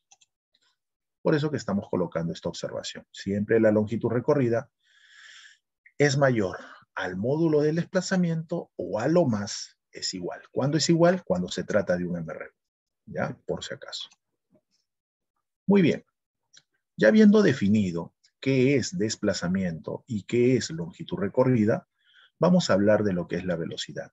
Y dentro de lo que es el estudio de la velocidad, vamos a definir dos velocidades, la velocidad media y la velocidad instantánea. ¿Ya? ¿Qué es la velocidad? Bueno, en términos generales, la velocidad nos indica qué tan rápido y en qué orientación se está moviendo un cuerpo. Así de simple. Como les decía, vamos a definir dos tipos de velocidades, la llamada velocidad media y la llamada velocidad instantánea. Empecemos con la velocidad media. Por si acaso, la velocidad media es una cantidad física vectorial, ¿correcto? Se mide durante un cierto intervalo de tiempo. ¿Y qué nos mide la velocidad media? La velocidad media nos mide la rapidez con la cual el cuerpo se desplaza de una posición a otra. Es decir, la velocidad media nos mide la rapidez con la cual el cuerpo logra cambiar de posición. Ya sabemos que el cambio de posición lo obtenemos mediante el desplazamiento, pero cuando el cuerpo va y cambia de posición, ha tardado un cierto tiempo, un cierto intervalo de tiempo. Entonces la velocidad media se encarga de mirar eso. La rapidez con la cual el cuerpo logra cambiar de posición. ¿Correcto hasta allí? Muy bien. Ahora, acá les doy un dato adicional. Cuando nosotros en física, vamos a obviar esto. Cuando nosotros en física, escúchame bien, hablamos de rapidez, estamos hablando de cómo una cantidad física cambia con respecto al tiempo. ¿Correcto? O sea, en física, cuando hablamos de rapidez, nos referimos a cómo una cantidad física cambia en el tiempo. ¿Correcto? Por ejemplo, rapidez de cambio de flujo quiere decir cómo cambia el flujo en el tiempo, flujo magnético, por ejemplo. ¿Ya? Y así vamos a poder describir rapidez con la cual cambia la longitud, longitud entre el tiempo. ¿No? Y así vamos a poder definir justamente lo que es rapidez. Y vuelvo a repetir, la rapidez mide el cambio de una cantidad física con respecto al tiempo. ¿Ya? Ese es en términos generales. Bueno, volviendo al tema, ya sabemos entonces qué es velocidad media. ¿sí? Mide la rapidez con la cual el cuerpo logra cambiar de posición. Matemáticamente, nosotros lo vamos a calcular así, dividiendo el desplazamiento sobre el tiempo transcurrido. Y geométricamente o gráficamente, ¿cómo lo vamos a obtener? Lo vamos a obtener de la siguiente manera.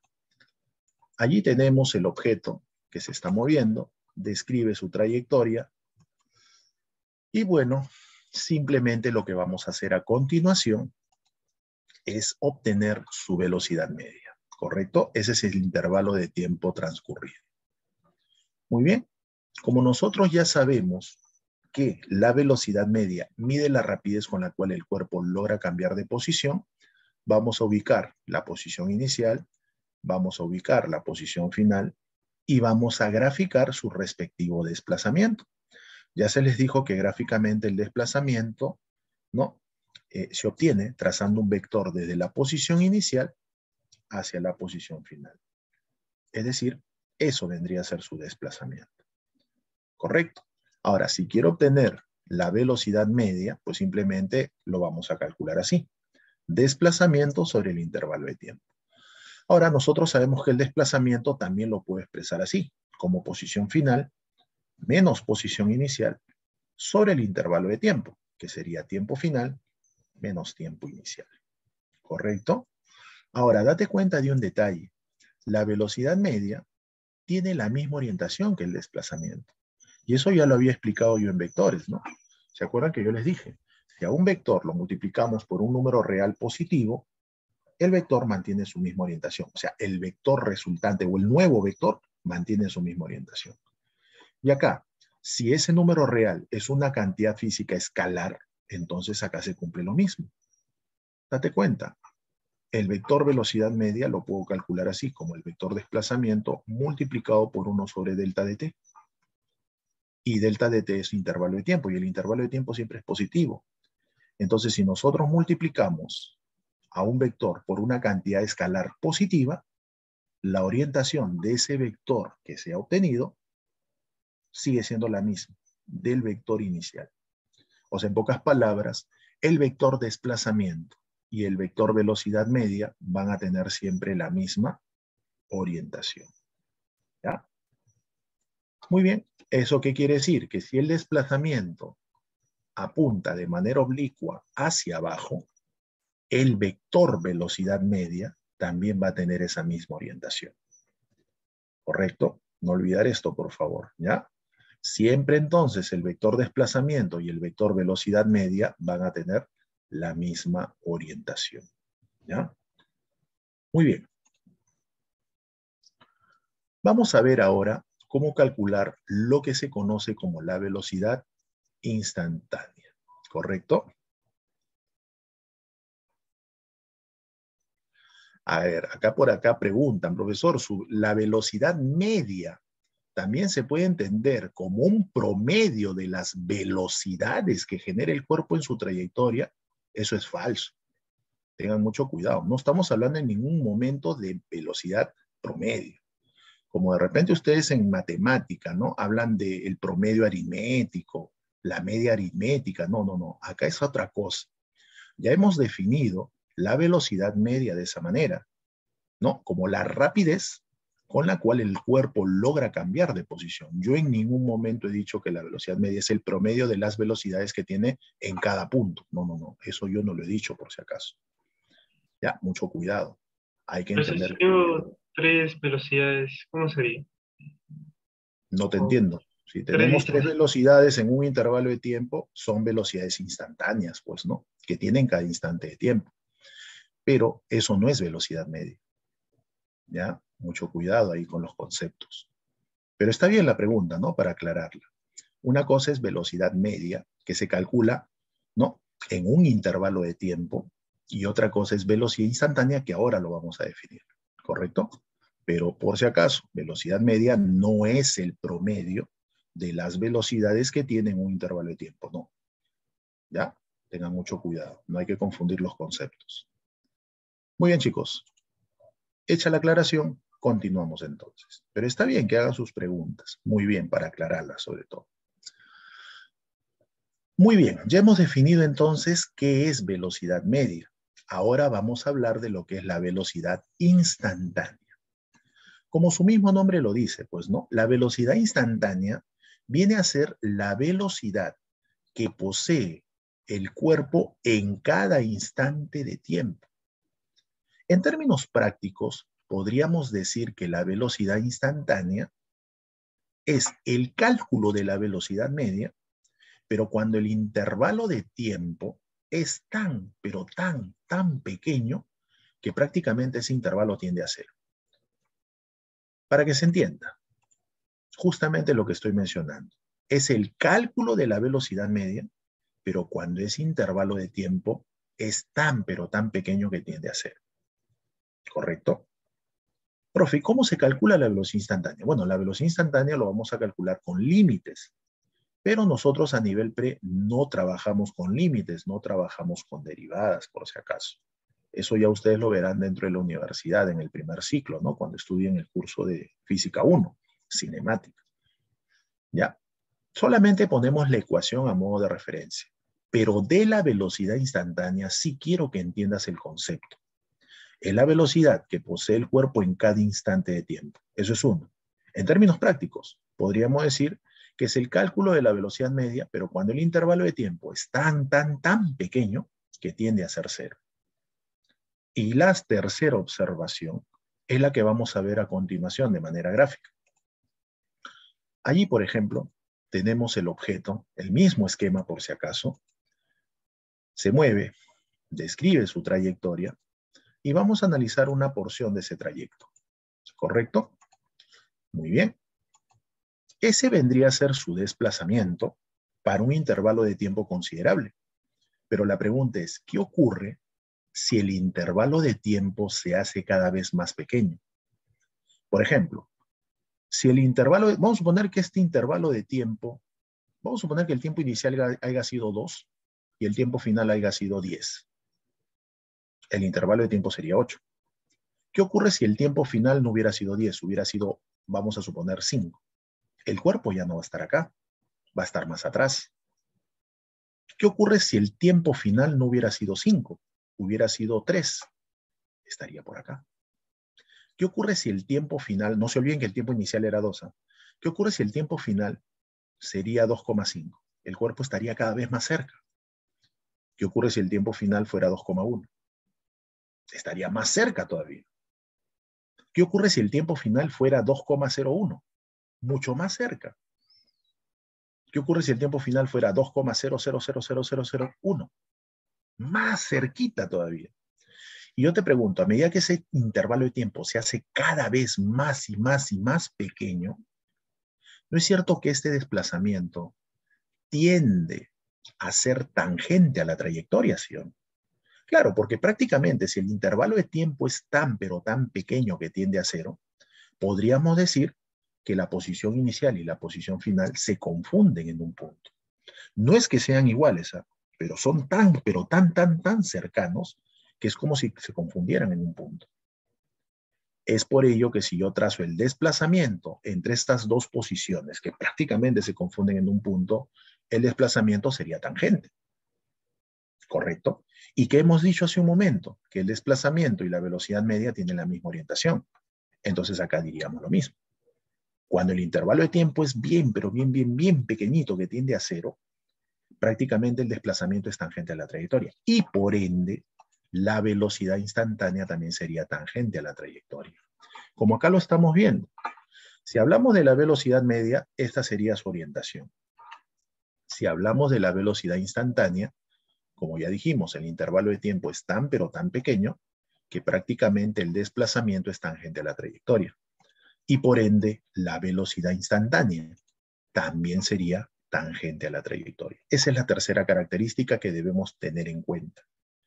La velocidad instantánea, primero, se caracteriza ¿por qué? Porque es la velocidad que tiene el cuerpo en cada instante de tiempo.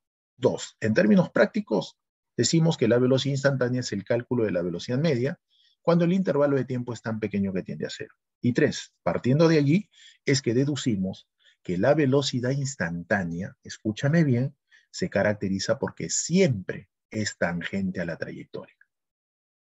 Ahora, a ti no te van a pedir que utilices la ecuación de límites para hallar la velocidad instantánea. No. Porque como vuelvo a repetir, nosotros no trabajamos con límites a nivel pre. Pero lo que sí te van a pedir es el concepto. ¿Ya? Y no olvidar que la velocidad instantánea es tangente a la trayectoria. Ahora, un comentario más. A la velocidad instantánea muchas veces ya se obvia el término instantáneo y simplemente se le llama velocidad. O sea, cuando en un problema te digan velocidad a secas, se están refiriendo a la velocidad instantánea. Para que se refieran a la velocidad media, te lo tienen que especificar. Y no olvidar, que la velocidad media se calcula para un intervalo de tiempo. ¿Correcto? O sea, para un trayecto, no una porción de su trayectoria. En cambio, la velocidad instantánea es la velocidad que tiene en cada instante de tiempo. Y como vuelvo a repetir, se caracteriza porque es tangente a la trayectoria. ¿Ya? Muy bien.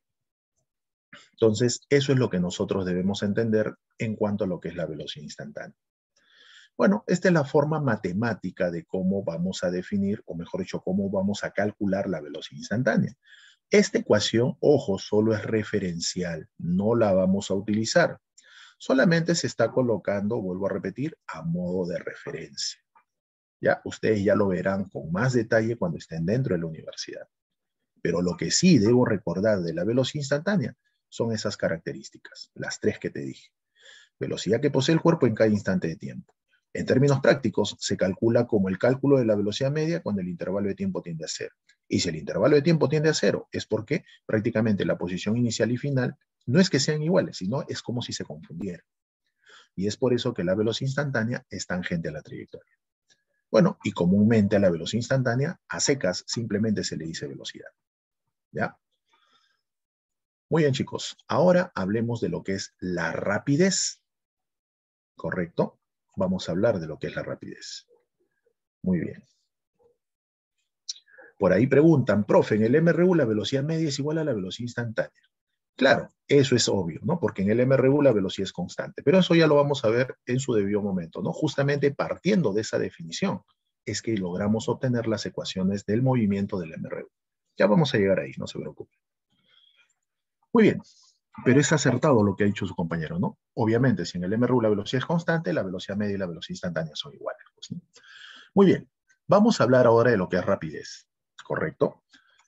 La rapidez nos mide justamente qué tan rápido se mueve un cuerpo, pero acá no consideramos su orientación. Es decir, la rapidez ya no está representada por un vector, es una cantidad escalar. ¿ya? Y solamente nos indica qué tan rápido se mueve el cuerpo. ¿Correcto? Acá vamos a definir dos rapidez, la rapidez media y la rapidez instantánea. La rapidez media tiene una definición muy parecida, pero no igual, porque son cantidades diferentes, una es vectorial y la otra es escalar. La rapidez media se calcula también para un intervalo de tiempo, es decir, para un trayecto, para una porción de la trayectoria. Y simplemente se define de esta manera, como la longitud recorrida por el cuerpo sobre el tiempo transcurrido. Pero no olvidar, la rapidez media es una cantidad escalar, no es vectorial. ¿Ya? Muy bien. El esquema, como ustedes se dan cuenta, es el mismo que hemos venido trabajando. Vamos a analizar una porción de esa trayectoria. Y bueno, en ese intervalo de tiempo vamos a calcular la rapidez media. Simplemente si considero que en ese intervalo de tiempo la longitud recorrida es L, la rapidez media, que lo representamos de esta manera, ¿no? la letra V, el M como si fuera un subíndice, y esto de acá como si fuera una culebrita, pues, ¿no? Nos indica la forma de cómo se denota la rapidez media, ¿ya?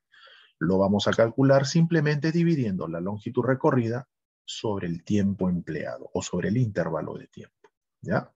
Pero no olvidar, vuelvo a repetir, que la rapidez media es una cantidad escalar. Muy bien, y de acá podemos llegar a una conclusión, pues no solamente a modo matemático, como nosotros hacemos que la longitud recorrida siempre es mayor o a lo más igual al módulo del desplazamiento, si acá lo divido entre el tiempo, entonces estaríamos corroborando esto, ¿no? Que la rapidez media es mayor o a lo menos o por lo menos igual al módulo de la velocidad media. Ahora, acá hay que tener mucho cuidado. A veces en las preguntas teóricas al alumno lo quieren hacer caer. ¿Y sabes lo que le preguntan? Le preguntan lo siguiente, miren. La rapidez media es el módulo de la velocidad media.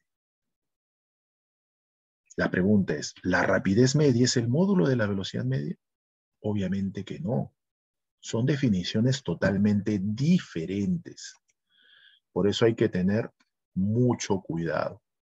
¿Ya? mucho cuidado. Una cosa es velocidad media y otra cosa es rapidez media. Yo no puedo decir que la rapidez media es el módulo de la velocidad media. Ahí tengan mucho cuidado. ¿Correcto? Bueno, por ahí otro, su compañero pregunta, ¿la rapidez media es igual a decir velocidad promedio? Bueno, realmente acá en CPRUNI no manejamos el término velocidad promedio. Creo que en algunas academias lo tocan. Acá simplemente nosotros definimos qué es rapidez media y se acabó. Al menos en CPRUNI no hablamos de velocidad promedio y no sé realmente a qué se refieren cuando hablan de velocidad promedio. Acá solamente es rapidez media, velocidad media y ahora vamos a definir qué es rapidez instantánea. ¿Ya? Pero no hablamos de velocidad promedio. Muy bien. Entonces, no olvidar, cuidado con esas preguntas teóricas. ¿ah? por si acaso, la rapidez media no es el módulo de la velocidad media. Mucho cuidado. ¿Ya? No vaya a ser que les venga eso en una pregunta teórica en la práctica y cometan errores. Pero miren, parece mentira, chicos, pero a pesar de que el profesor les hace la aclaración, vuelven a cometer errores en la práctica, ¿no? Y eso se ve en las estadísticas. Por eso estoy haciendo hincapié en ese sentido, ¿ya? Muy bien. Vamos ahora a hablar de la rapidez instantánea. La rapidez instantánea tiene un concepto también no igual, pero muy similar a lo que es velocidad instantánea. Es decir, la rapidez instantánea es el cálculo de la rapidez media cuando el intervalo de tiempo tiende a cero. Así de simple. Nada más. Y bueno, el esquema es el mismo, sino que ahora, si el intervalo de tiempo es tan pero tan pequeño que tiende a cero, esto ya nosotros lo habíamos visto, ¿cierto? Que prácticamente si el intervalo de tiempo es tan pequeño que tiende a cero, la posición inicial y la posición final se confunden. O sea, no es que sean iguales, pero es como si la posición inicial y final se confundieran en un solo punto. Muy bien, entonces, ¿esto me sirve para qué? para entender de que si la posición inicial y final prácticamente no es que sean la misma, pero prácticamente se confunden como si fueran un mismo punto, pregunto, esa longitud prácticamente sería una trayectoria recta, o mejor dicho, esa longitud esta curvita prácticamente se confunde con una longitud recta, ¿sí o no? Y eso es lo que justamente nos va a servir para luego entender que la rapidez instantánea sí es el módulo de la velocidad instantánea. ¿Ya? Y eso lo vamos a demostrar. Entonces, como les decía, esa longitud curva prácticamente se confunde con una trayectoria recta. Entonces yo puedo decir lo siguiente, que prácticamente esa longitud curva, como el tiempo es tan, tan, tan pequeñito, esa longitud curva se confunde con el módulo del desplazamiento. Muy bien, entonces acá simplemente lo que hacemos es una evaluación matemática. Nosotros ya sabemos que la velocidad instantánea se calcula así. Y además sabemos que como el tiempo es tan pequeño, esa longitud prácticamente se confunde con esa trayectoria rectilínea, es decir, esa longitud prácticamente es igual al módulo del desplazamiento. Entonces, decimos, esa velocidad instantánea, yo sé que por ecuación se calcula de esta manera. Pero, ¿qué ocurre? Si yo en vez de L, como prácticamente la longitud y el módulo del desplazamiento son iguales, yo puedo poner en vez de L, donde ves el puntero, módulo del desplazamiento sobre intervalo de tiempo. ¿Correcto? Pero si ustedes pueden darse cuenta, el módulo de todo esto de acá es justamente el módulo de quién. No se olviden que esto que está acá es velocidad instantánea. Entonces, ¿qué nos damos cuenta? Que la rapidez instantánea es igual a quién? Al módulo de la velocidad instantánea. Acá sí estamos viendo que se cumple eso. O sea, el módulo de la, mejor dicho, el módulo de la velocidad instantánea estamos viendo que es igual a la rapidez instantánea. Pero lo otro es distinto, no confundir. No podríamos decir que la rapidez media es igual al módulo de la velocidad media. Eso sí es falso, por si acaso. Pero acá sí estamos demostrando que la rapidez instantánea es el módulo de la velocidad instantánea. Y como ya hemos dicho que a la velocidad instantánea simplemente se le dice velocidad, entonces a la rapidez instantánea simplemente se le dice rapidez. Ya, es por eso que decimos, al módulo de la velocidad instantánea también se le conoce como rapidez instantánea o simplemente rapidez.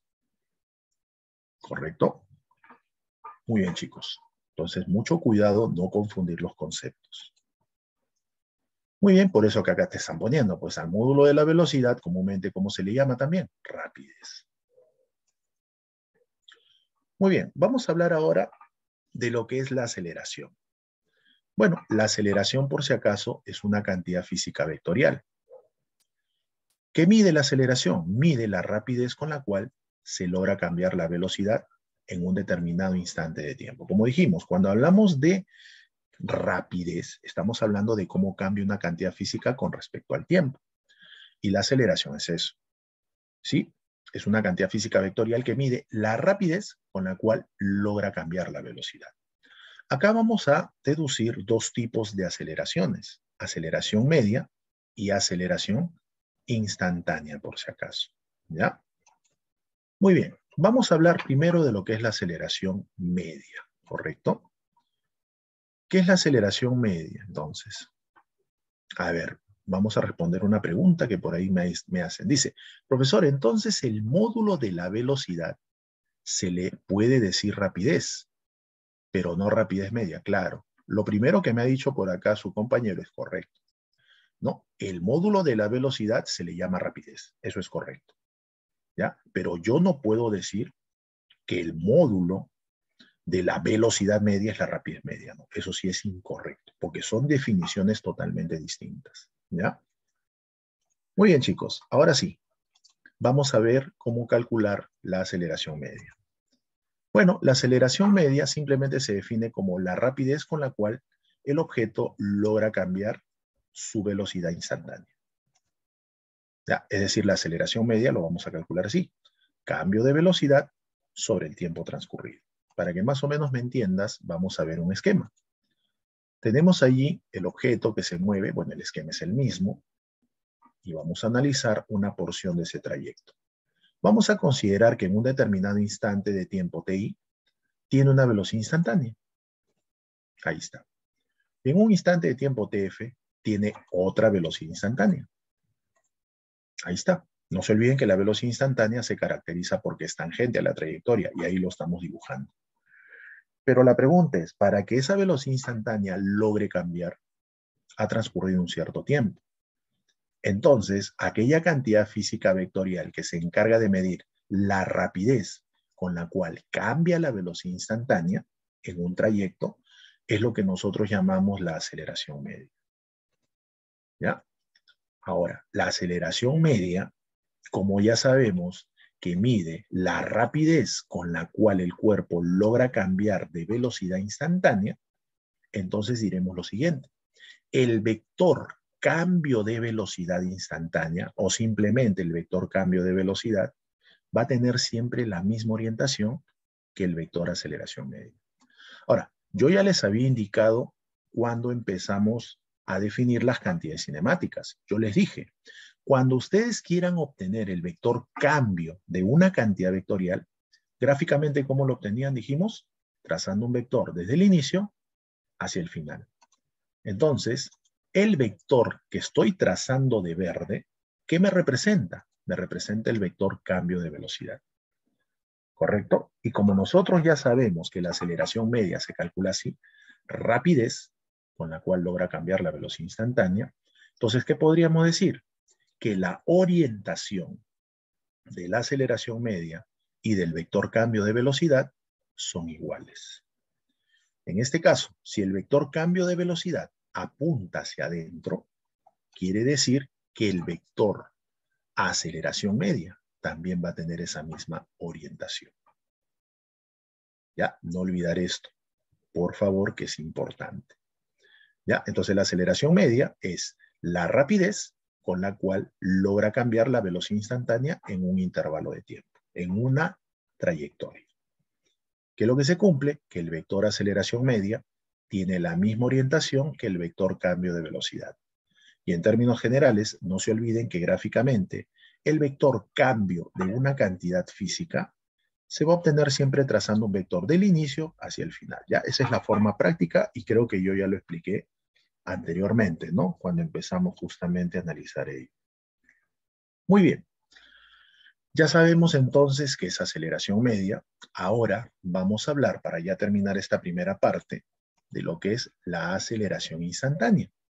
Y en términos prácticos, la aceleración instantánea es el cálculo de la aceleración media, pero cuando el intervalo de tiempo es tan pequeño que prácticamente tiende a cero. ¿Ya?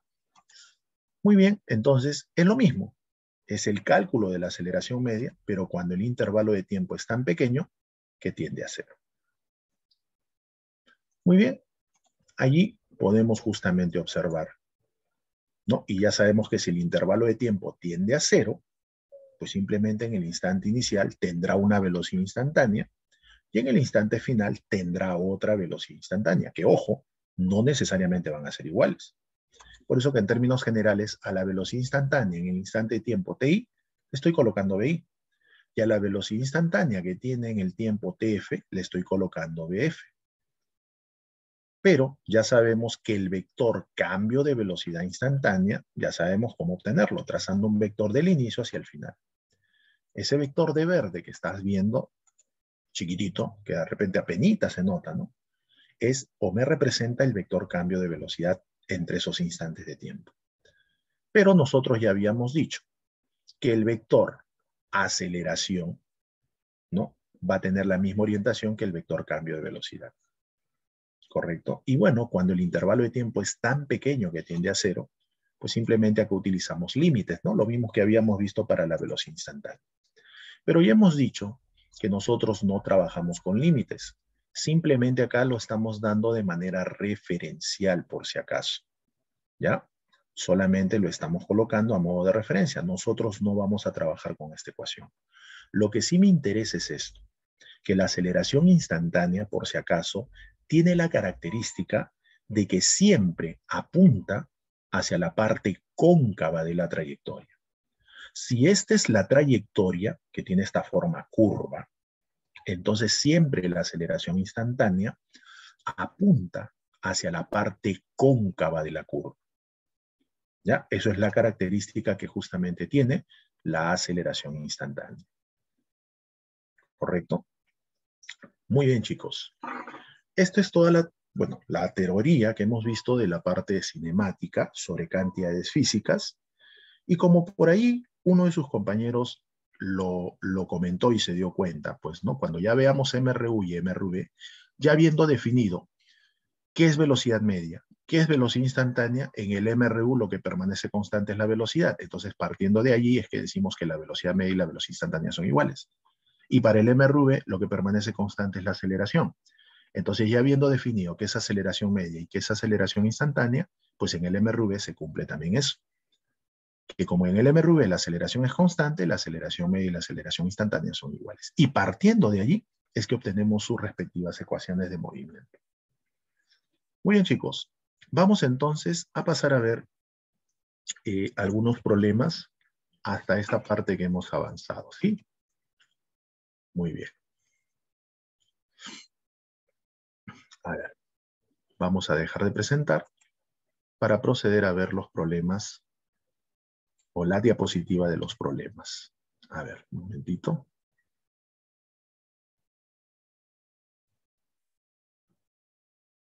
A ver, chicos, como veo que han prestado atención y todo lo demás, nos vamos a dar unos tres minutitos o cuatro minutitos para que se estiren un poquito. Yo sé que es un poco cansado a veces estar frente a la pantalla y eso es entendible, pero no queda de otra que adecuarnos, pues. ¿Correcto, chicos? Unos tres a cuatro minutos máximos para que estiren un poco de repente las piernas, los brazos, vayan al baño, tomen de repente algo, algún té, alguna limonada o simplemente un vaso de agua y empezamos ya con la solución de los problemas. ¿Les parece? Muy bien, chicos. Entonces, tres, cuatro minutos máximo y empezamos con la solución de los problemas. ¿Ya? Muy bien. Nos vemos entonces en tres a cuatro minutos, ¿ya?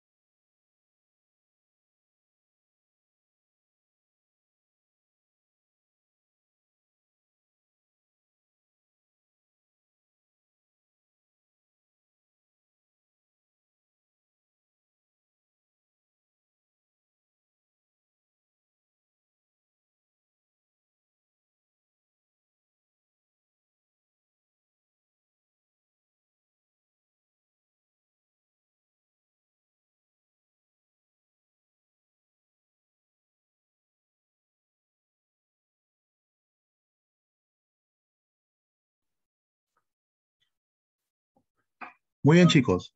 Vamos a empezar entonces, ya habiendo descansado siquiera un poquito, unos 3, 4 minutos. Y vamos a empezar con la solución de los problemas, al menos de la parte de cinemática, ¿sí?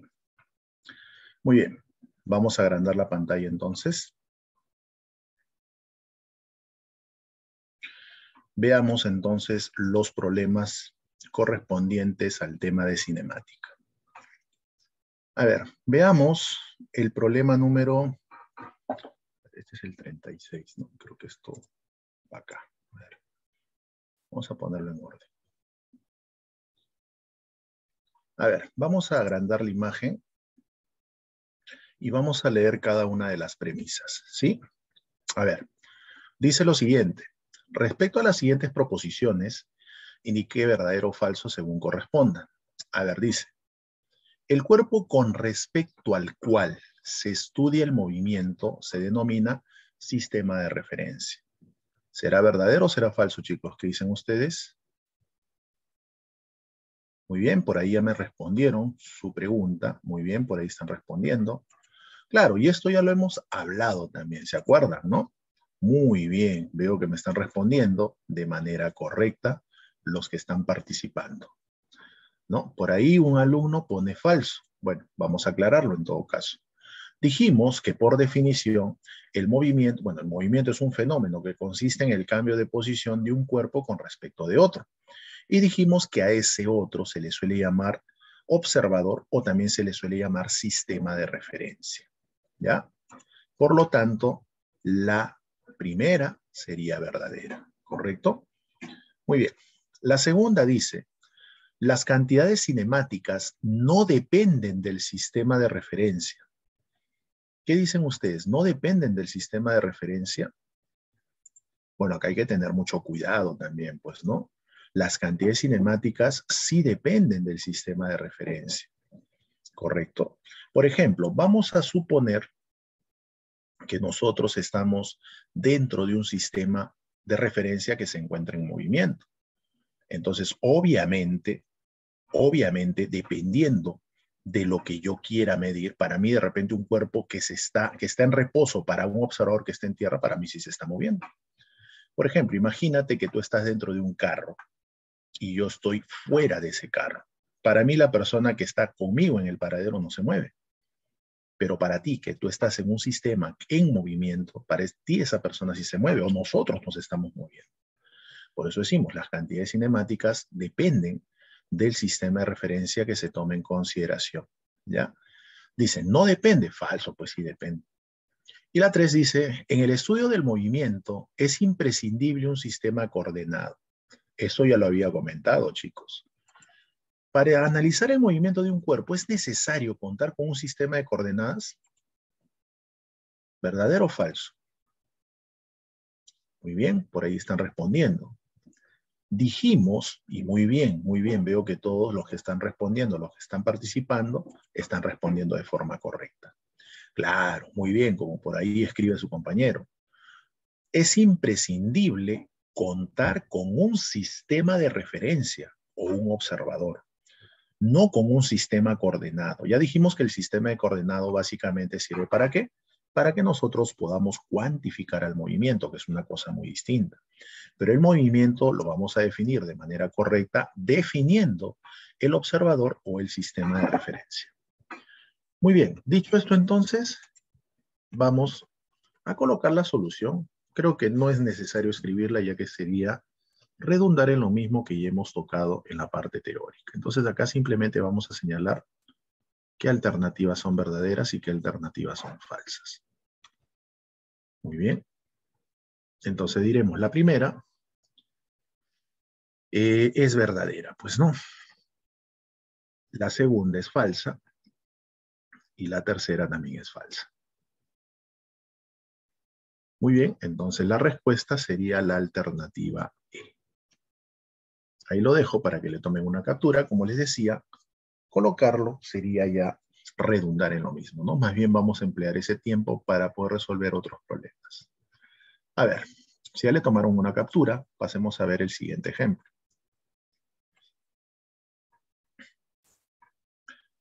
Bueno, este es un problema que nos dice, se muestra en la figura la posición de una partícula en función del tiempo.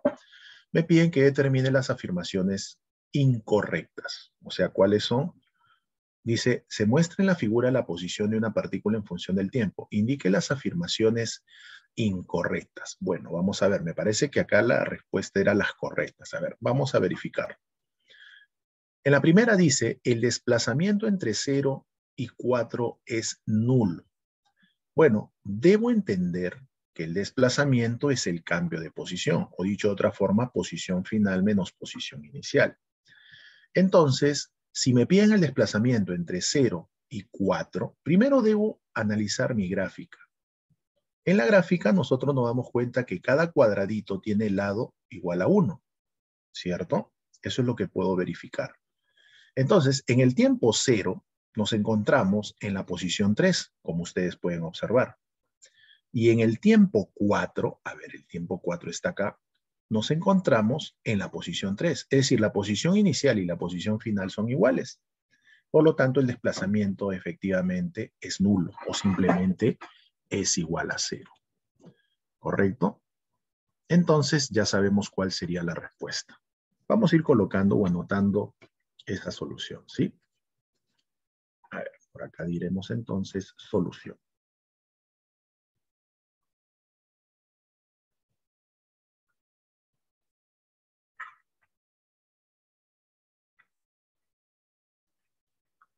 Bueno, en la primera ya sabemos cuál sería la idea, pues, ¿no? Eh, bueno, creo que de ahí se puede apreciar la gráfica. Eh, en el tiempo cero, la posición, vamos a ponerle así, en el tiempo inicial 0, la posición era 3, ¿no? Ya, entonces acá la vamos a poner. En el tiempo 0, la posición es 3. 3 sí, pues, ¿no? Porque estamos sobre el eje X. Y no se olviden que la posición es un vector. En el tiempo final, que según el problema es 4. La posición final también es 3, date cuenta. Entonces, si quiero obtener su desplazamiento, pues ya sabemos que el desplazamiento es posición final menos posición inicial. Bueno, lo que uno simplemente vamos a hacer acá es restar, pues, ¿no? Posición final es 3i y posición inicial es también 3i. Y 3i menos 3i, pues simplemente me va a dar 0, pues, ¿no? O simplemente decimos que el desplazamiento es nulo, pues, ¿no? Y esa sería la solución. Entonces, la primera es verdadera, ¿cierto? El desplazamiento es nulo, correcto. Veamos la segunda premisa. Dice, el desplazamiento entre 0 y 6 es 2i. Bueno, la idea es la misma. En el instante inicial, que es el tiempo 0, ya sabemos que la posición inicial es 3i. Y en el instante de tiempo final, eh, a ver, acá creo que no lo he puesto. Vamos a ponerlo un poquito más atrás. El tiempo inicial, 0 la posición inicial es 3i. Y en el tiempo final, 6 segundos, en el tiempo final 6 segundos, la posición final vendría a ser, bueno, de la gráfica, eso lo podemos deducir. La posición final para el tiempo 6, a ver, a ver, 1, 2, 3, 4, 5, 6. Es 4, ¿no? 4i. Entonces, de acá ya podemos obtener el desplazamiento.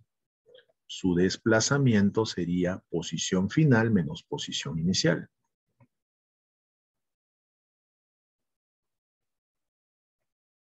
Y bueno, es cuestión de reemplazar. Posición final 4i posición inicial 3i. Y bueno, nos damos cuenta que ese desplazamiento sería un i. Pero el problema me dice que es 2i. Por lo tanto, esto es falso. Pues. Y la tercera, que nos dicen, En la tercera dice, el desplazamiento entre 6 y 12 es menos 3i. A ver, vamos a ver. Ahora el instante de tiempo inicial sería 6. Veamos. Ya sabemos que esa posición ya se conoce del problema anterior. Era 4i. Y el tiempo final, en este caso, sería 12 segundos. Y para ese tiempo final ya conozco la posición final. Entonces, para el tiempo 12, la posición final es un i. Entonces, de acá ya podemos obtener el desplazamiento. Ya sabemos que el desplazamiento es posición final menos posición inicial. Y reemplazo. Bueno, la posición final es un i y la posición inicial es 4i. Bueno, si hacemos la diferencia respectiva, me va a salir menos 3i. Por lo tanto, esta premisa sí es correcta. Bueno, acá una corrección, ¿no? Nos piden, indique las afirmaciones correctas debería ser, ¿ya? Acá hay que corregir. Entonces, las correctas obviamente son 1 y 3. Si solamente me pidieran las incorrectas, la alternativa sería solo dos, pues, ¿no?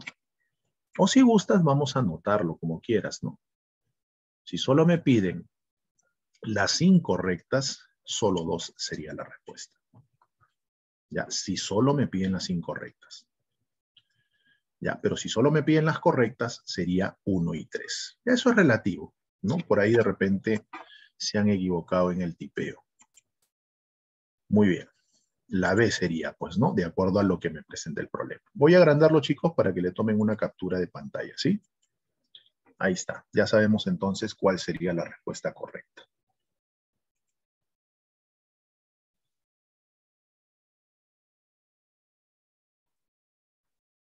A ver, por ahí me preguntan, profesor, ¿el sistema de referencia es necesariamente un cuerpo puntual?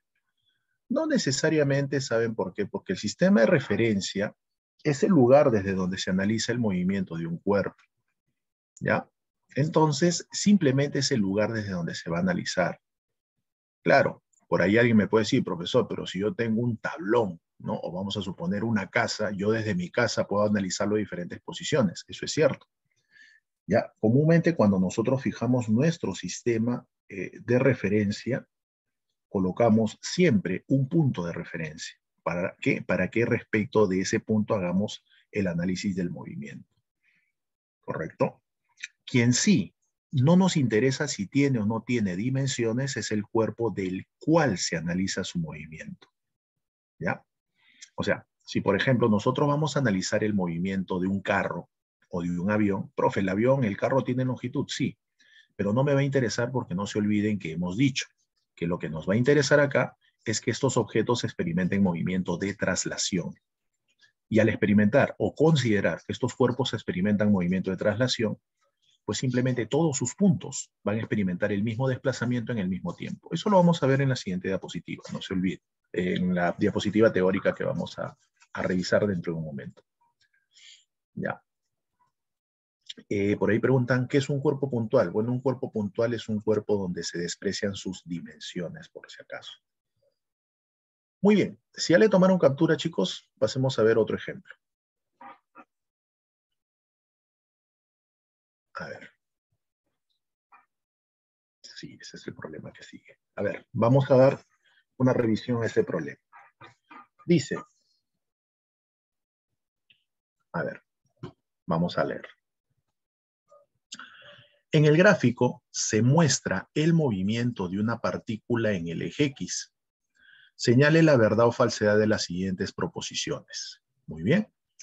Date cuenta que es una gráfica posición versus tiempo. Claro que es una gráfica, una curva. Y me dicen que averigüe, la primera, si la rapidez media entre el tiempo 0 y el tiempo 4 es 10 metros por segundo. Bueno, acá debo recordar cómo habíamos definido lo que es rapidez media. Y ya se les había indicado de que la rapidez media es una cantidad escalar, ¿cierto? Y mide la longitud recorrida sobre el intervalo de tiempo. Entonces, lo que yo tengo que averiguar es qué longitud ha recorrido entre el tiempo 0 y el tiempo 4. Vamos entonces a analizar la gráfica, ¿ya? Así que por favor, observa. Mira, en el tiempo 0 se encuentra en la posición 10. En el primer segundo, mira, en el primer segundo va de la posición 10 a la posición 20. Ahí ya va recorriendo 10 metros. ¿Correcto hasta allí? Claro, porque entre la posición 10 y la posición 20, la longitud recorrida es 10 metros. Luego, del tiempo 1 al tiempo 2, está yendo de la posición 20 a la posición 10. O sea, al ir de la posición 20 a la posición 10, nuevamente ha recorrido 10 metros. ¿Me dejo entender? Ahora, al ir de la posición, o sea, en el instante de tiempo 2 al instante de tiempo 3, está yendo de la posición 10 a la posición 0, mira. Y si va de la posición 10 a la posición 0, quiere decir que allí ha recorrido nuevamente 10 metros. Y finalmente, en el tiempo de 3 a 4, está yendo de la posición 0 a la posición 10 si va de la posición 0 a la posición 10, ha recorrido 10 metros más. Entonces, al hacer el análisis ya nos dimos cuenta qué distancia o qué longitud total ha recorrido en el intervalo de tiempo de 0 a 4 segundos, ¿no? Ha recorrido primero 10 metros en el primer segundo, 10 metros en el segundo segundo, 10 metros en el siguiente segundo y en el cuarto segundo otros 10 metros. O sea, en pocas palabras, en total ha recorrido una longitud de 40 metros. Entonces vamos a ir anotando esos valores por acá. A ver, por acá decimos solución.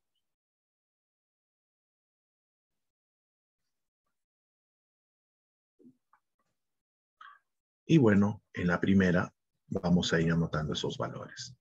Primero, como nos están viendo la rapidez media, ya sabemos que la rapidez media se calcula como la longitud recorrida sobre el intervalo de tiempo. La longitud recorrida ya sabemos que es 10 en el primer segundo, más 10 que recorren el siguiente segundo, más otros 10 que recorren el siguiente segundo y más otros 10 que recorren el siguiente segundo. Y todo esto dividido entre el intervalo de tiempo. De 0 a 4, pues ya sabemos que han transcurrido 4 segundos. ¿Correcto? Ahí está. Bueno, es cuestión simplemente de que nosotros operemos esto. Me quedaría 40 entre 4 y 40 entre 4 me da 10. 10 metros por segundo. Quiere decir que esta premisa es verdadera. Muy bien, de forma similar, vamos a resolver la 2. Vamos a dar lectura primero. voy a agrandar la pantalla, pero que lo puedan apreciar. ¿Qué dice la segunda premisa? Dice, la orientación de la aceleración media entre el tiempo 2,5 y el tiempo 4,5 es más. Bueno, ojo, te piden la orientación nada más. Muy bien, entonces tú lo que simplemente tienes que entender es lo siguiente. Bueno, todavía no hemos visto eh, MRU, ¿sí? Pero nosotros debemos entender de que cuando tienes una gráfica posición versus tiempo, ¿correcto? A ver, acá lo voy adelantando. Cuando ustedes tienen una gráfica, así en borrador primero lo voy a escribir. Cuando tienes una gráfica posición versus tiempo y se trata de un MRU, la gráfica puede ser una recta inclinada a la derecha o inclinada a la izquierda. ¿Cuál es la diferencia? Que si es inclinada a la derecha, la velocidad es positiva. Si es inclinada a la izquierda, la velocidad es negativa. ¿Ya? Eso es en el MRU. Ahora, ¿qué ocurre si yo tuviera una gráfica posición versus tiempo, pero la gráfica ya no es una recta. Por ejemplo, es una curva cualquiera. Por ejemplo, vamos a suponer que sea así. Algo así. Entonces, si es una gráfica posición versus tiempo, si bien es cierto, yo no conozco datos, pero lo que sí puedo hacer es predecir, por ejemplo, qué velocidad tiene para este instante de tiempo. Vamos a dibujar eh, para este instante de tiempo T1, por ejemplo. ¿Qué es lo que hago? En ese punto trazas una recta tangente. Vamos a ponerle acá mejor. Vamos a eh, a ver, vamos a conservar esto. Vamos a descartarlo. Vamos a salir de acá para dibujarlo. Ya, acá lo voy a colocar mejor. Entonces, cuando nosotros tenemos una gráfica, vuelvo a repetir, posición versus tiempo, si se trata de un MRU, las gráficas van a ser rectas inclinadas, ya sea a la derecha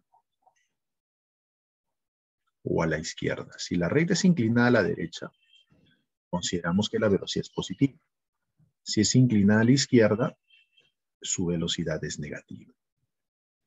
Entonces, como les decía, ¿qué ocurre si nosotros tuviéramos una gráfica también posición versus tiempo, pero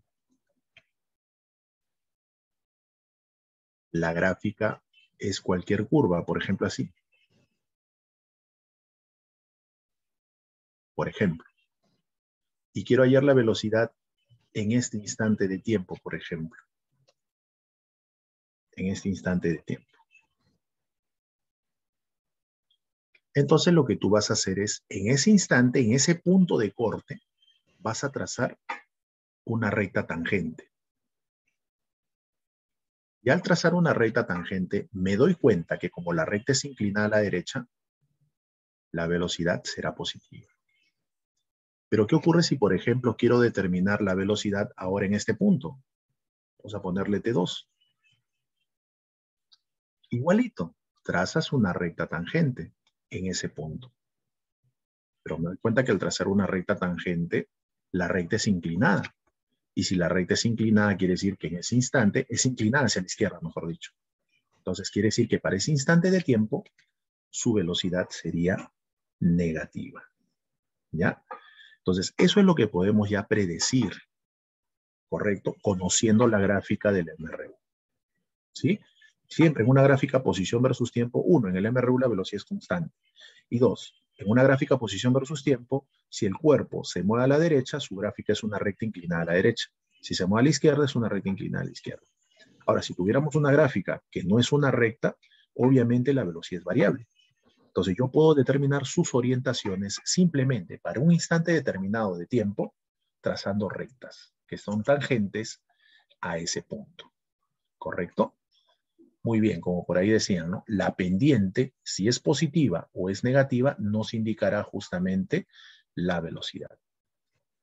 Muy bien, dicho esto entonces, en la pregunta 2 decía, la orientación de la aceleración entre t igual 2,5 y t igual 4,5 es menos i. A ver, primero, en el tiempo final, lo vamos a poner acá, solamente vamos a colocar la orientación. En el tiempo final, que es 4,5, ¿qué orientación tendría la velocidad? Date cuenta, 4,5 ¿dónde está? Está por acá más o menos, ¿no? 4,5 está acá. Y si esto es 4,5, más o menos estaría por acá el punto. Entonces, si yo trazo una recta tangente allí, efectivamente su velocidad es positiva, ¿no? En ese punto, entonces, la velocidad es positiva.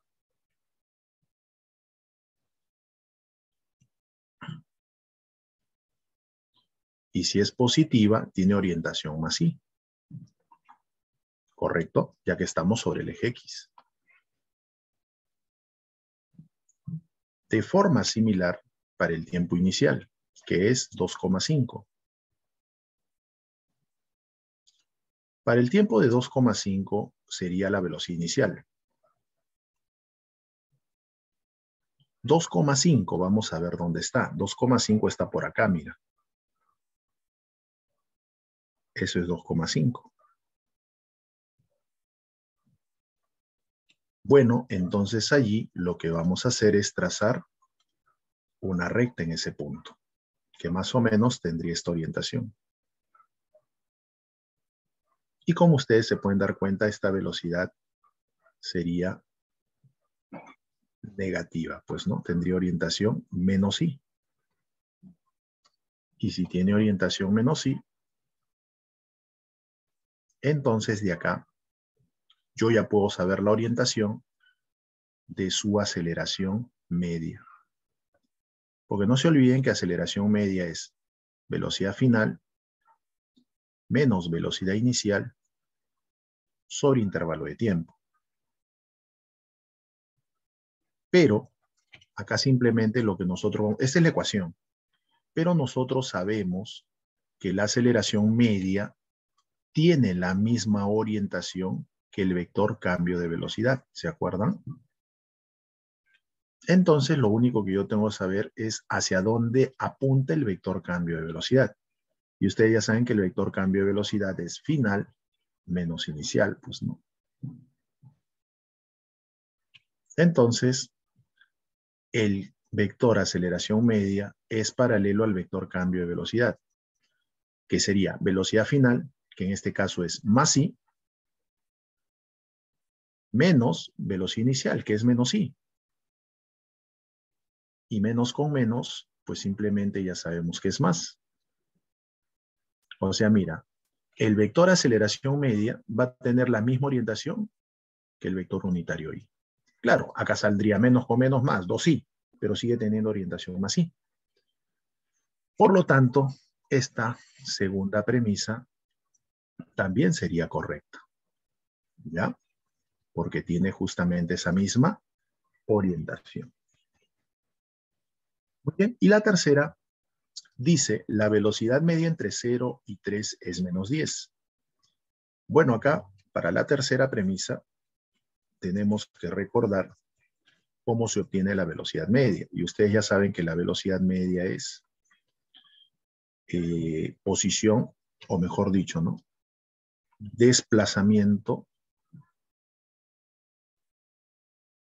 sobre intervalo de tiempo. Pero ese desplazamiento lo puedo calcular como posición final menos posición inicial sobre el intervalo de tiempo. Bueno, reemplazo. La posición final es justamente para el tiempo cero, perdón, para el tiempo 3. Y como ustedes pueden darse cuenta, para el tiempo 3, la posición es cero menos la posición inicial que es para el tiempo, perdón, para el tiempo 3 la posición es 0 y para el tiempo 0 la posición inicial es 10. 10 sí en este caso, ¿no? Y el intervalo de tiempo entre 0 y 3, pues simplemente es 3 segundos. Y como ustedes se pueden dar cuenta, de acá saldría 10 tercios de i metros por segundo, la velocidad media en ese intervalo de tiempo. Por lo tanto, esta tercera premisa es falsa porque no dice que sale 10, menos 10 sí, perdón, y es falso, ¿no? Bueno, la respuesta sería verdadero, verdadero, falso. O sea, la respuesta es la alternativa E. Ahí lo voy a agrandar para que le tomen una captura, ¿no? Creo que el problema no es nada difícil, salvo la segunda, donde ya sabemos cómo manejar ese tipo de problemas, ¿no? Cuando tenemos gráficas, simplemente verificas el signo de la pendiente, ¿no? Para saber si la velocidad es positiva o es negativa para ese instante de tiempo. Muy bien, chicos, tómenle una captura para pasar a ver otro ejemplo.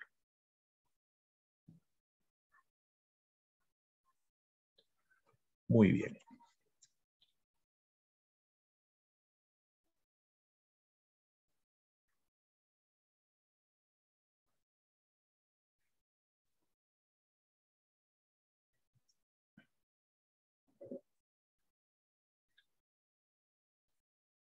A ver, pasemos a ver otro ejemplo.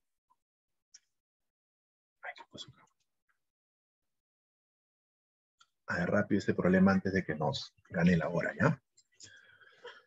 Dice, un móvil recorre la trayectoria mostrada con una rapidez constante.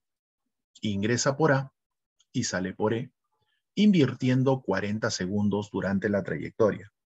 Indique las proposiciones verdaderas o falsas. Bueno, esto es un problema también interesante. Ojo que hay un dato muy importante. ¿Y cuál es ese dato, profe?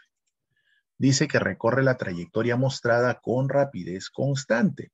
O sea, su rapidez en todo el trayecto es la misma. Dice que ingresa por A y sale por E.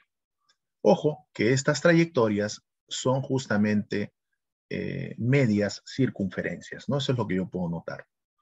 Dice que entra por A y sale por E invirtiendo 40 segundos durante la trayectoria. Me piden que indique las proposiciones verdaderas o falsas.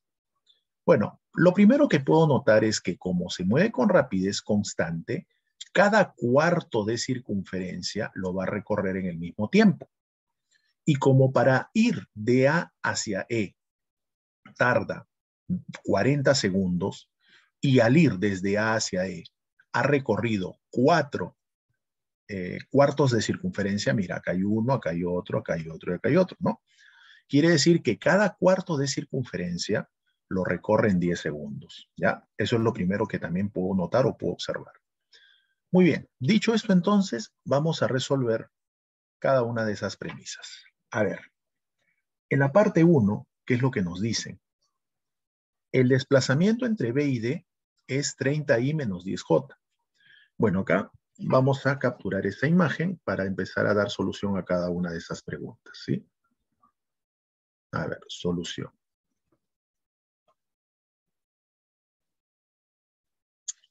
Muy bien. Decimos entonces lo siguiente. A ver. Vamos a capturar esta imagen.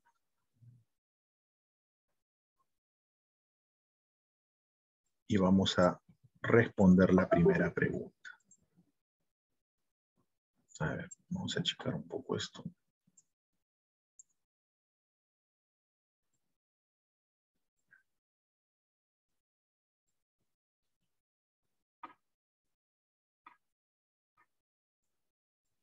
A ver, en la primera, ¿qué es lo que nos dicen? Dice el desplazamiento entre B y D. Bueno, B está acá y D está acá. Vamos a trazar ese desplazamiento. Ya sabemos que el desplazamiento es un vector que gráficamente se obtiene, ¿no? Trazando un vector desde la posición inicial hacia la posición final. Más o menos, este sería el desplazamiento entonces. Ahí está. Este es el desplazamiento entre B y D. Entonces, ese desplazamiento hay que determinarlo. Y bueno, acá simplemente puedo aplicar un poquito de descomposición vectorial. Lo puedo descomponer, ya sabemos, de la cola a la cabeza, como la suma de este vector de azul más este otro vector de azul. Entonces lo que tengo que hacer es medir cuánto miden esos vectores y luego darles su orientación. El vector horizontal tiene una longitud que es equivalente a la distancia entre el punto 10 y el punto 30. Eso me da 20. El vector vertical tiene una distancia que es igual a la distancia que existe entre la posición 10 y menos 10. Eso me da 20. Entonces ya conocemos cuál es el desplazamiento, pues no. Entonces el desplazamiento entre la posición B y la posición D sería, reacomodando términos, 20i menos 20j. ¿Correcto? Ahí está. Menos 20i menos, perdón, 20i menos 20j. Esa sería la respuesta. Pero el problema me dice que es 30i menos 10j. Bueno, eso es falso entonces. Veamos la segunda. En la segunda te dicen, la velocidad media entre C y D es I más J. C y D. Muy bien. Vamos a capturar otra imagen, pero que nos alcance el espacio para la tercera también. A ver, más o menos esta sería la gráfica. Vamos a copiarlo acá. Vamos un poco.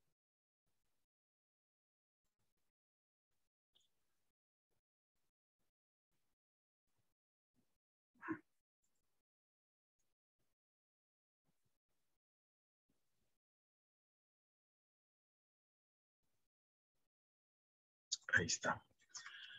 Bueno, como me están pidiendo entre C y D, me piden la velocidad media, entonces yo debo obtener el desplazamiento entre C y D. Lo voy a trazar por acá. Ahí está el punto C, ahí está el punto D. Voy a obtener su desplazamiento. Igual lo voy a dibujar de verde. Y este sería el desplazamiento entre C y D. Ahí está. Ya tengo el desplazamiento y puedo obtener su expresión vectorial. A ver, veamos. Eh, el desplazamiento lo puedo obtener como la suma de este vector vertical más este otro vector horizontal, ¿cierto? Cada longitud, bueno, esto mide 10 y el vector horizontal entre 20 y 30 también esa longitud es 10. Entonces, ese desplazamiento sería igual, reacomodando términos, 10i menos 10j. ¿Y el intervalo de tiempo cuánto es? Bueno, como estamos yendo de C a D, ya sabemos que el intervalo de tiempo es 10 segundos, ¿no? Porque el problema me decía que para ir desde A hacia E dura 40 segundos, pero ya habíamos quedado en que para que recorra cada cuarto de circunferencia va a tardar 10 segundos, ya que su rapidez es constante. Entonces, de acá ya puedo hallar su velocidad media, que sería el desplazamiento sobre el intervalo de tiempo. Entonces, de acá a ver, espero que nos alcance el espacio. Esto lo voy a checar un poco. Ahí vamos a.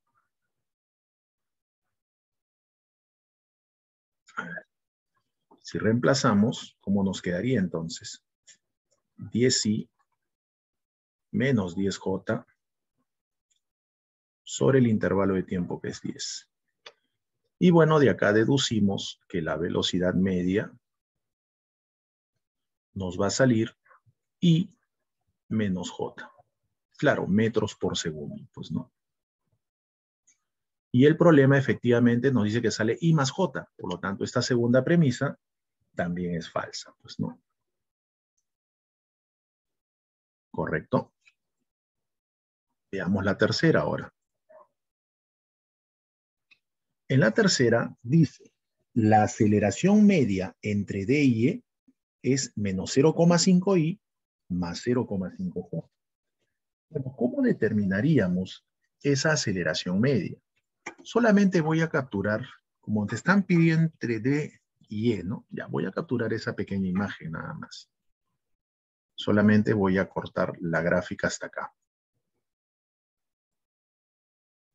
A ver. Más o menos ahí.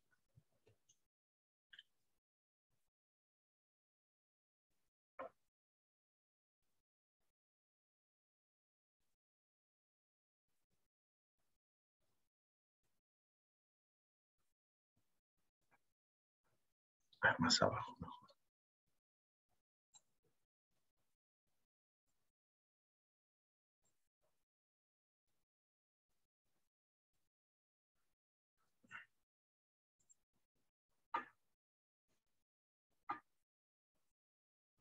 Ahí está.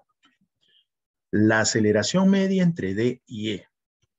Si quiero hallar la aceleración media, debo conocer cuál es la velocidad que tiene entre D y E.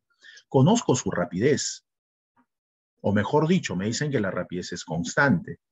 Entonces, en la parte 3, lo que vamos a hacer es lo siguiente. A ver, para ganar espacio, este 3 mejor lo voy a poner acá arriba.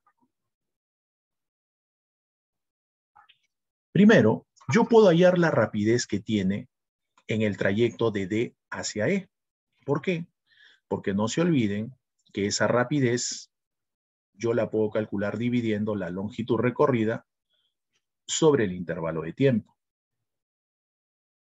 La longitud recorrida sería la longitud de este cuarto de circunferencia. Pero la longitud del cuarto de circunferencia por trigonometría lo puedo calcular multiplicando el ángulo central, que es pi medios, por el radio, ¿cierto? Y el radio vendría a ser 10 metros. Entonces acá lo voy a colocar. Teta por el radio, que es 10. Y el tiempo, no se olviden que era 10 segundos también. Entonces, si nosotros operamos, ¿cuánto saldría esa rapidez? Como ustedes se pueden dar cuenta, saldría, a ver, pi medios creo, ¿no? Porque 10 con 10 se va a cancelar. ¿Correcto? O 5 pi, a ver. ¿Cuánto sale? Teta, en este caso vendría a ser pi medios, por el radio, que en este caso vendría a ser 10. Eso es el ángulo, y entre el intervalo de tiempo nos va a dar, a ver, pi medios por 10 entre 10. 10 con 10 se cancela, pi medios creo, ¿no? Esa rapidez sale pi medios. Pero esta rapidez de pi medios es la misma rapidez que tiene en D y en E. Porque no se olviden que la rapidez es constante. ¿Correcto? Entonces lo único que simplemente lo que yo tengo que hacer acá es señalar cuáles son sus orientaciones. Por ejemplo, en D, En D, esta sería su rapidez, o perdón, su velocidad instantánea. Le pongo velocidad inicial. Y en E, esta sería su velocidad instantánea. Le pongo velocidad final. Y como ya conozco sus módulos y además conozco sus orientaciones, ya conozco cuál es la velocidad inicial, que en este caso sería eh, pi medios multiplicado por i, y ya conozco la velocidad final, que también sería pi medios por j. Entonces ya puedo hallar la aceleración media. La aceleración media sería cambio de velocidad sobre intervalo de tiempo. O sea, velocidad final menos velocidad inicial sobre el intervalo de tiempo. Bueno, es cuestión de reemplazar, pues, chicos, ¿no? ¿Cómo quedaría entonces? Final, pi medios j. Factorizo pi medios, me quedaría j menos la inicial, que sería pi medios i, sobre el intervalo de tiempo que ya sabemos que es 10 segundos. Muy bien, entonces ya sabemos cuál sería la respuesta, pues, ¿no? Si reacomodamos términos, a ver, ¿cuánto saldría? 0,05 creo, ¿no? 0,05i menos, o perdón, menos i más j, ¿no? Menos i más j creo que sería. Vamos a ponerlo acá, creo que alcanza las justas. Claro, saldría pi veintiavos. Pi veintiavos es lo mismo que decir 0,05 factorizo ese 0,05 y dentro me quedaría menos i más j. Pero nos damos cuenta que también sale falsa, pues, ¿no? Porque ahí nos dicen que sale eh, menos 0,5i más 0,5j. Entonces esta tercera premisa también es falsa. Muy bien, las tres premisas entonces nos han salido incorrectas las tres. Muy bien muchachos, creo que justo ya nos ganó la hora. Ahí nos vamos a quedar. Ya el día martes vamos a terminar viendo lo que es MRU, MRV y también vamos a ver caída libre, ¿no? Muy bien, chicos. Nos estamos viendo entonces hasta el día martes. Cuídense, estudien y bueno, si ya le tomaron captura, nos está moviendo, chicos. Muy bien. Nos vemos, muchachos. Cuídense. Nos vemos, chicos. Nos vemos. Cuídense. Vamos a detener la grabación acá.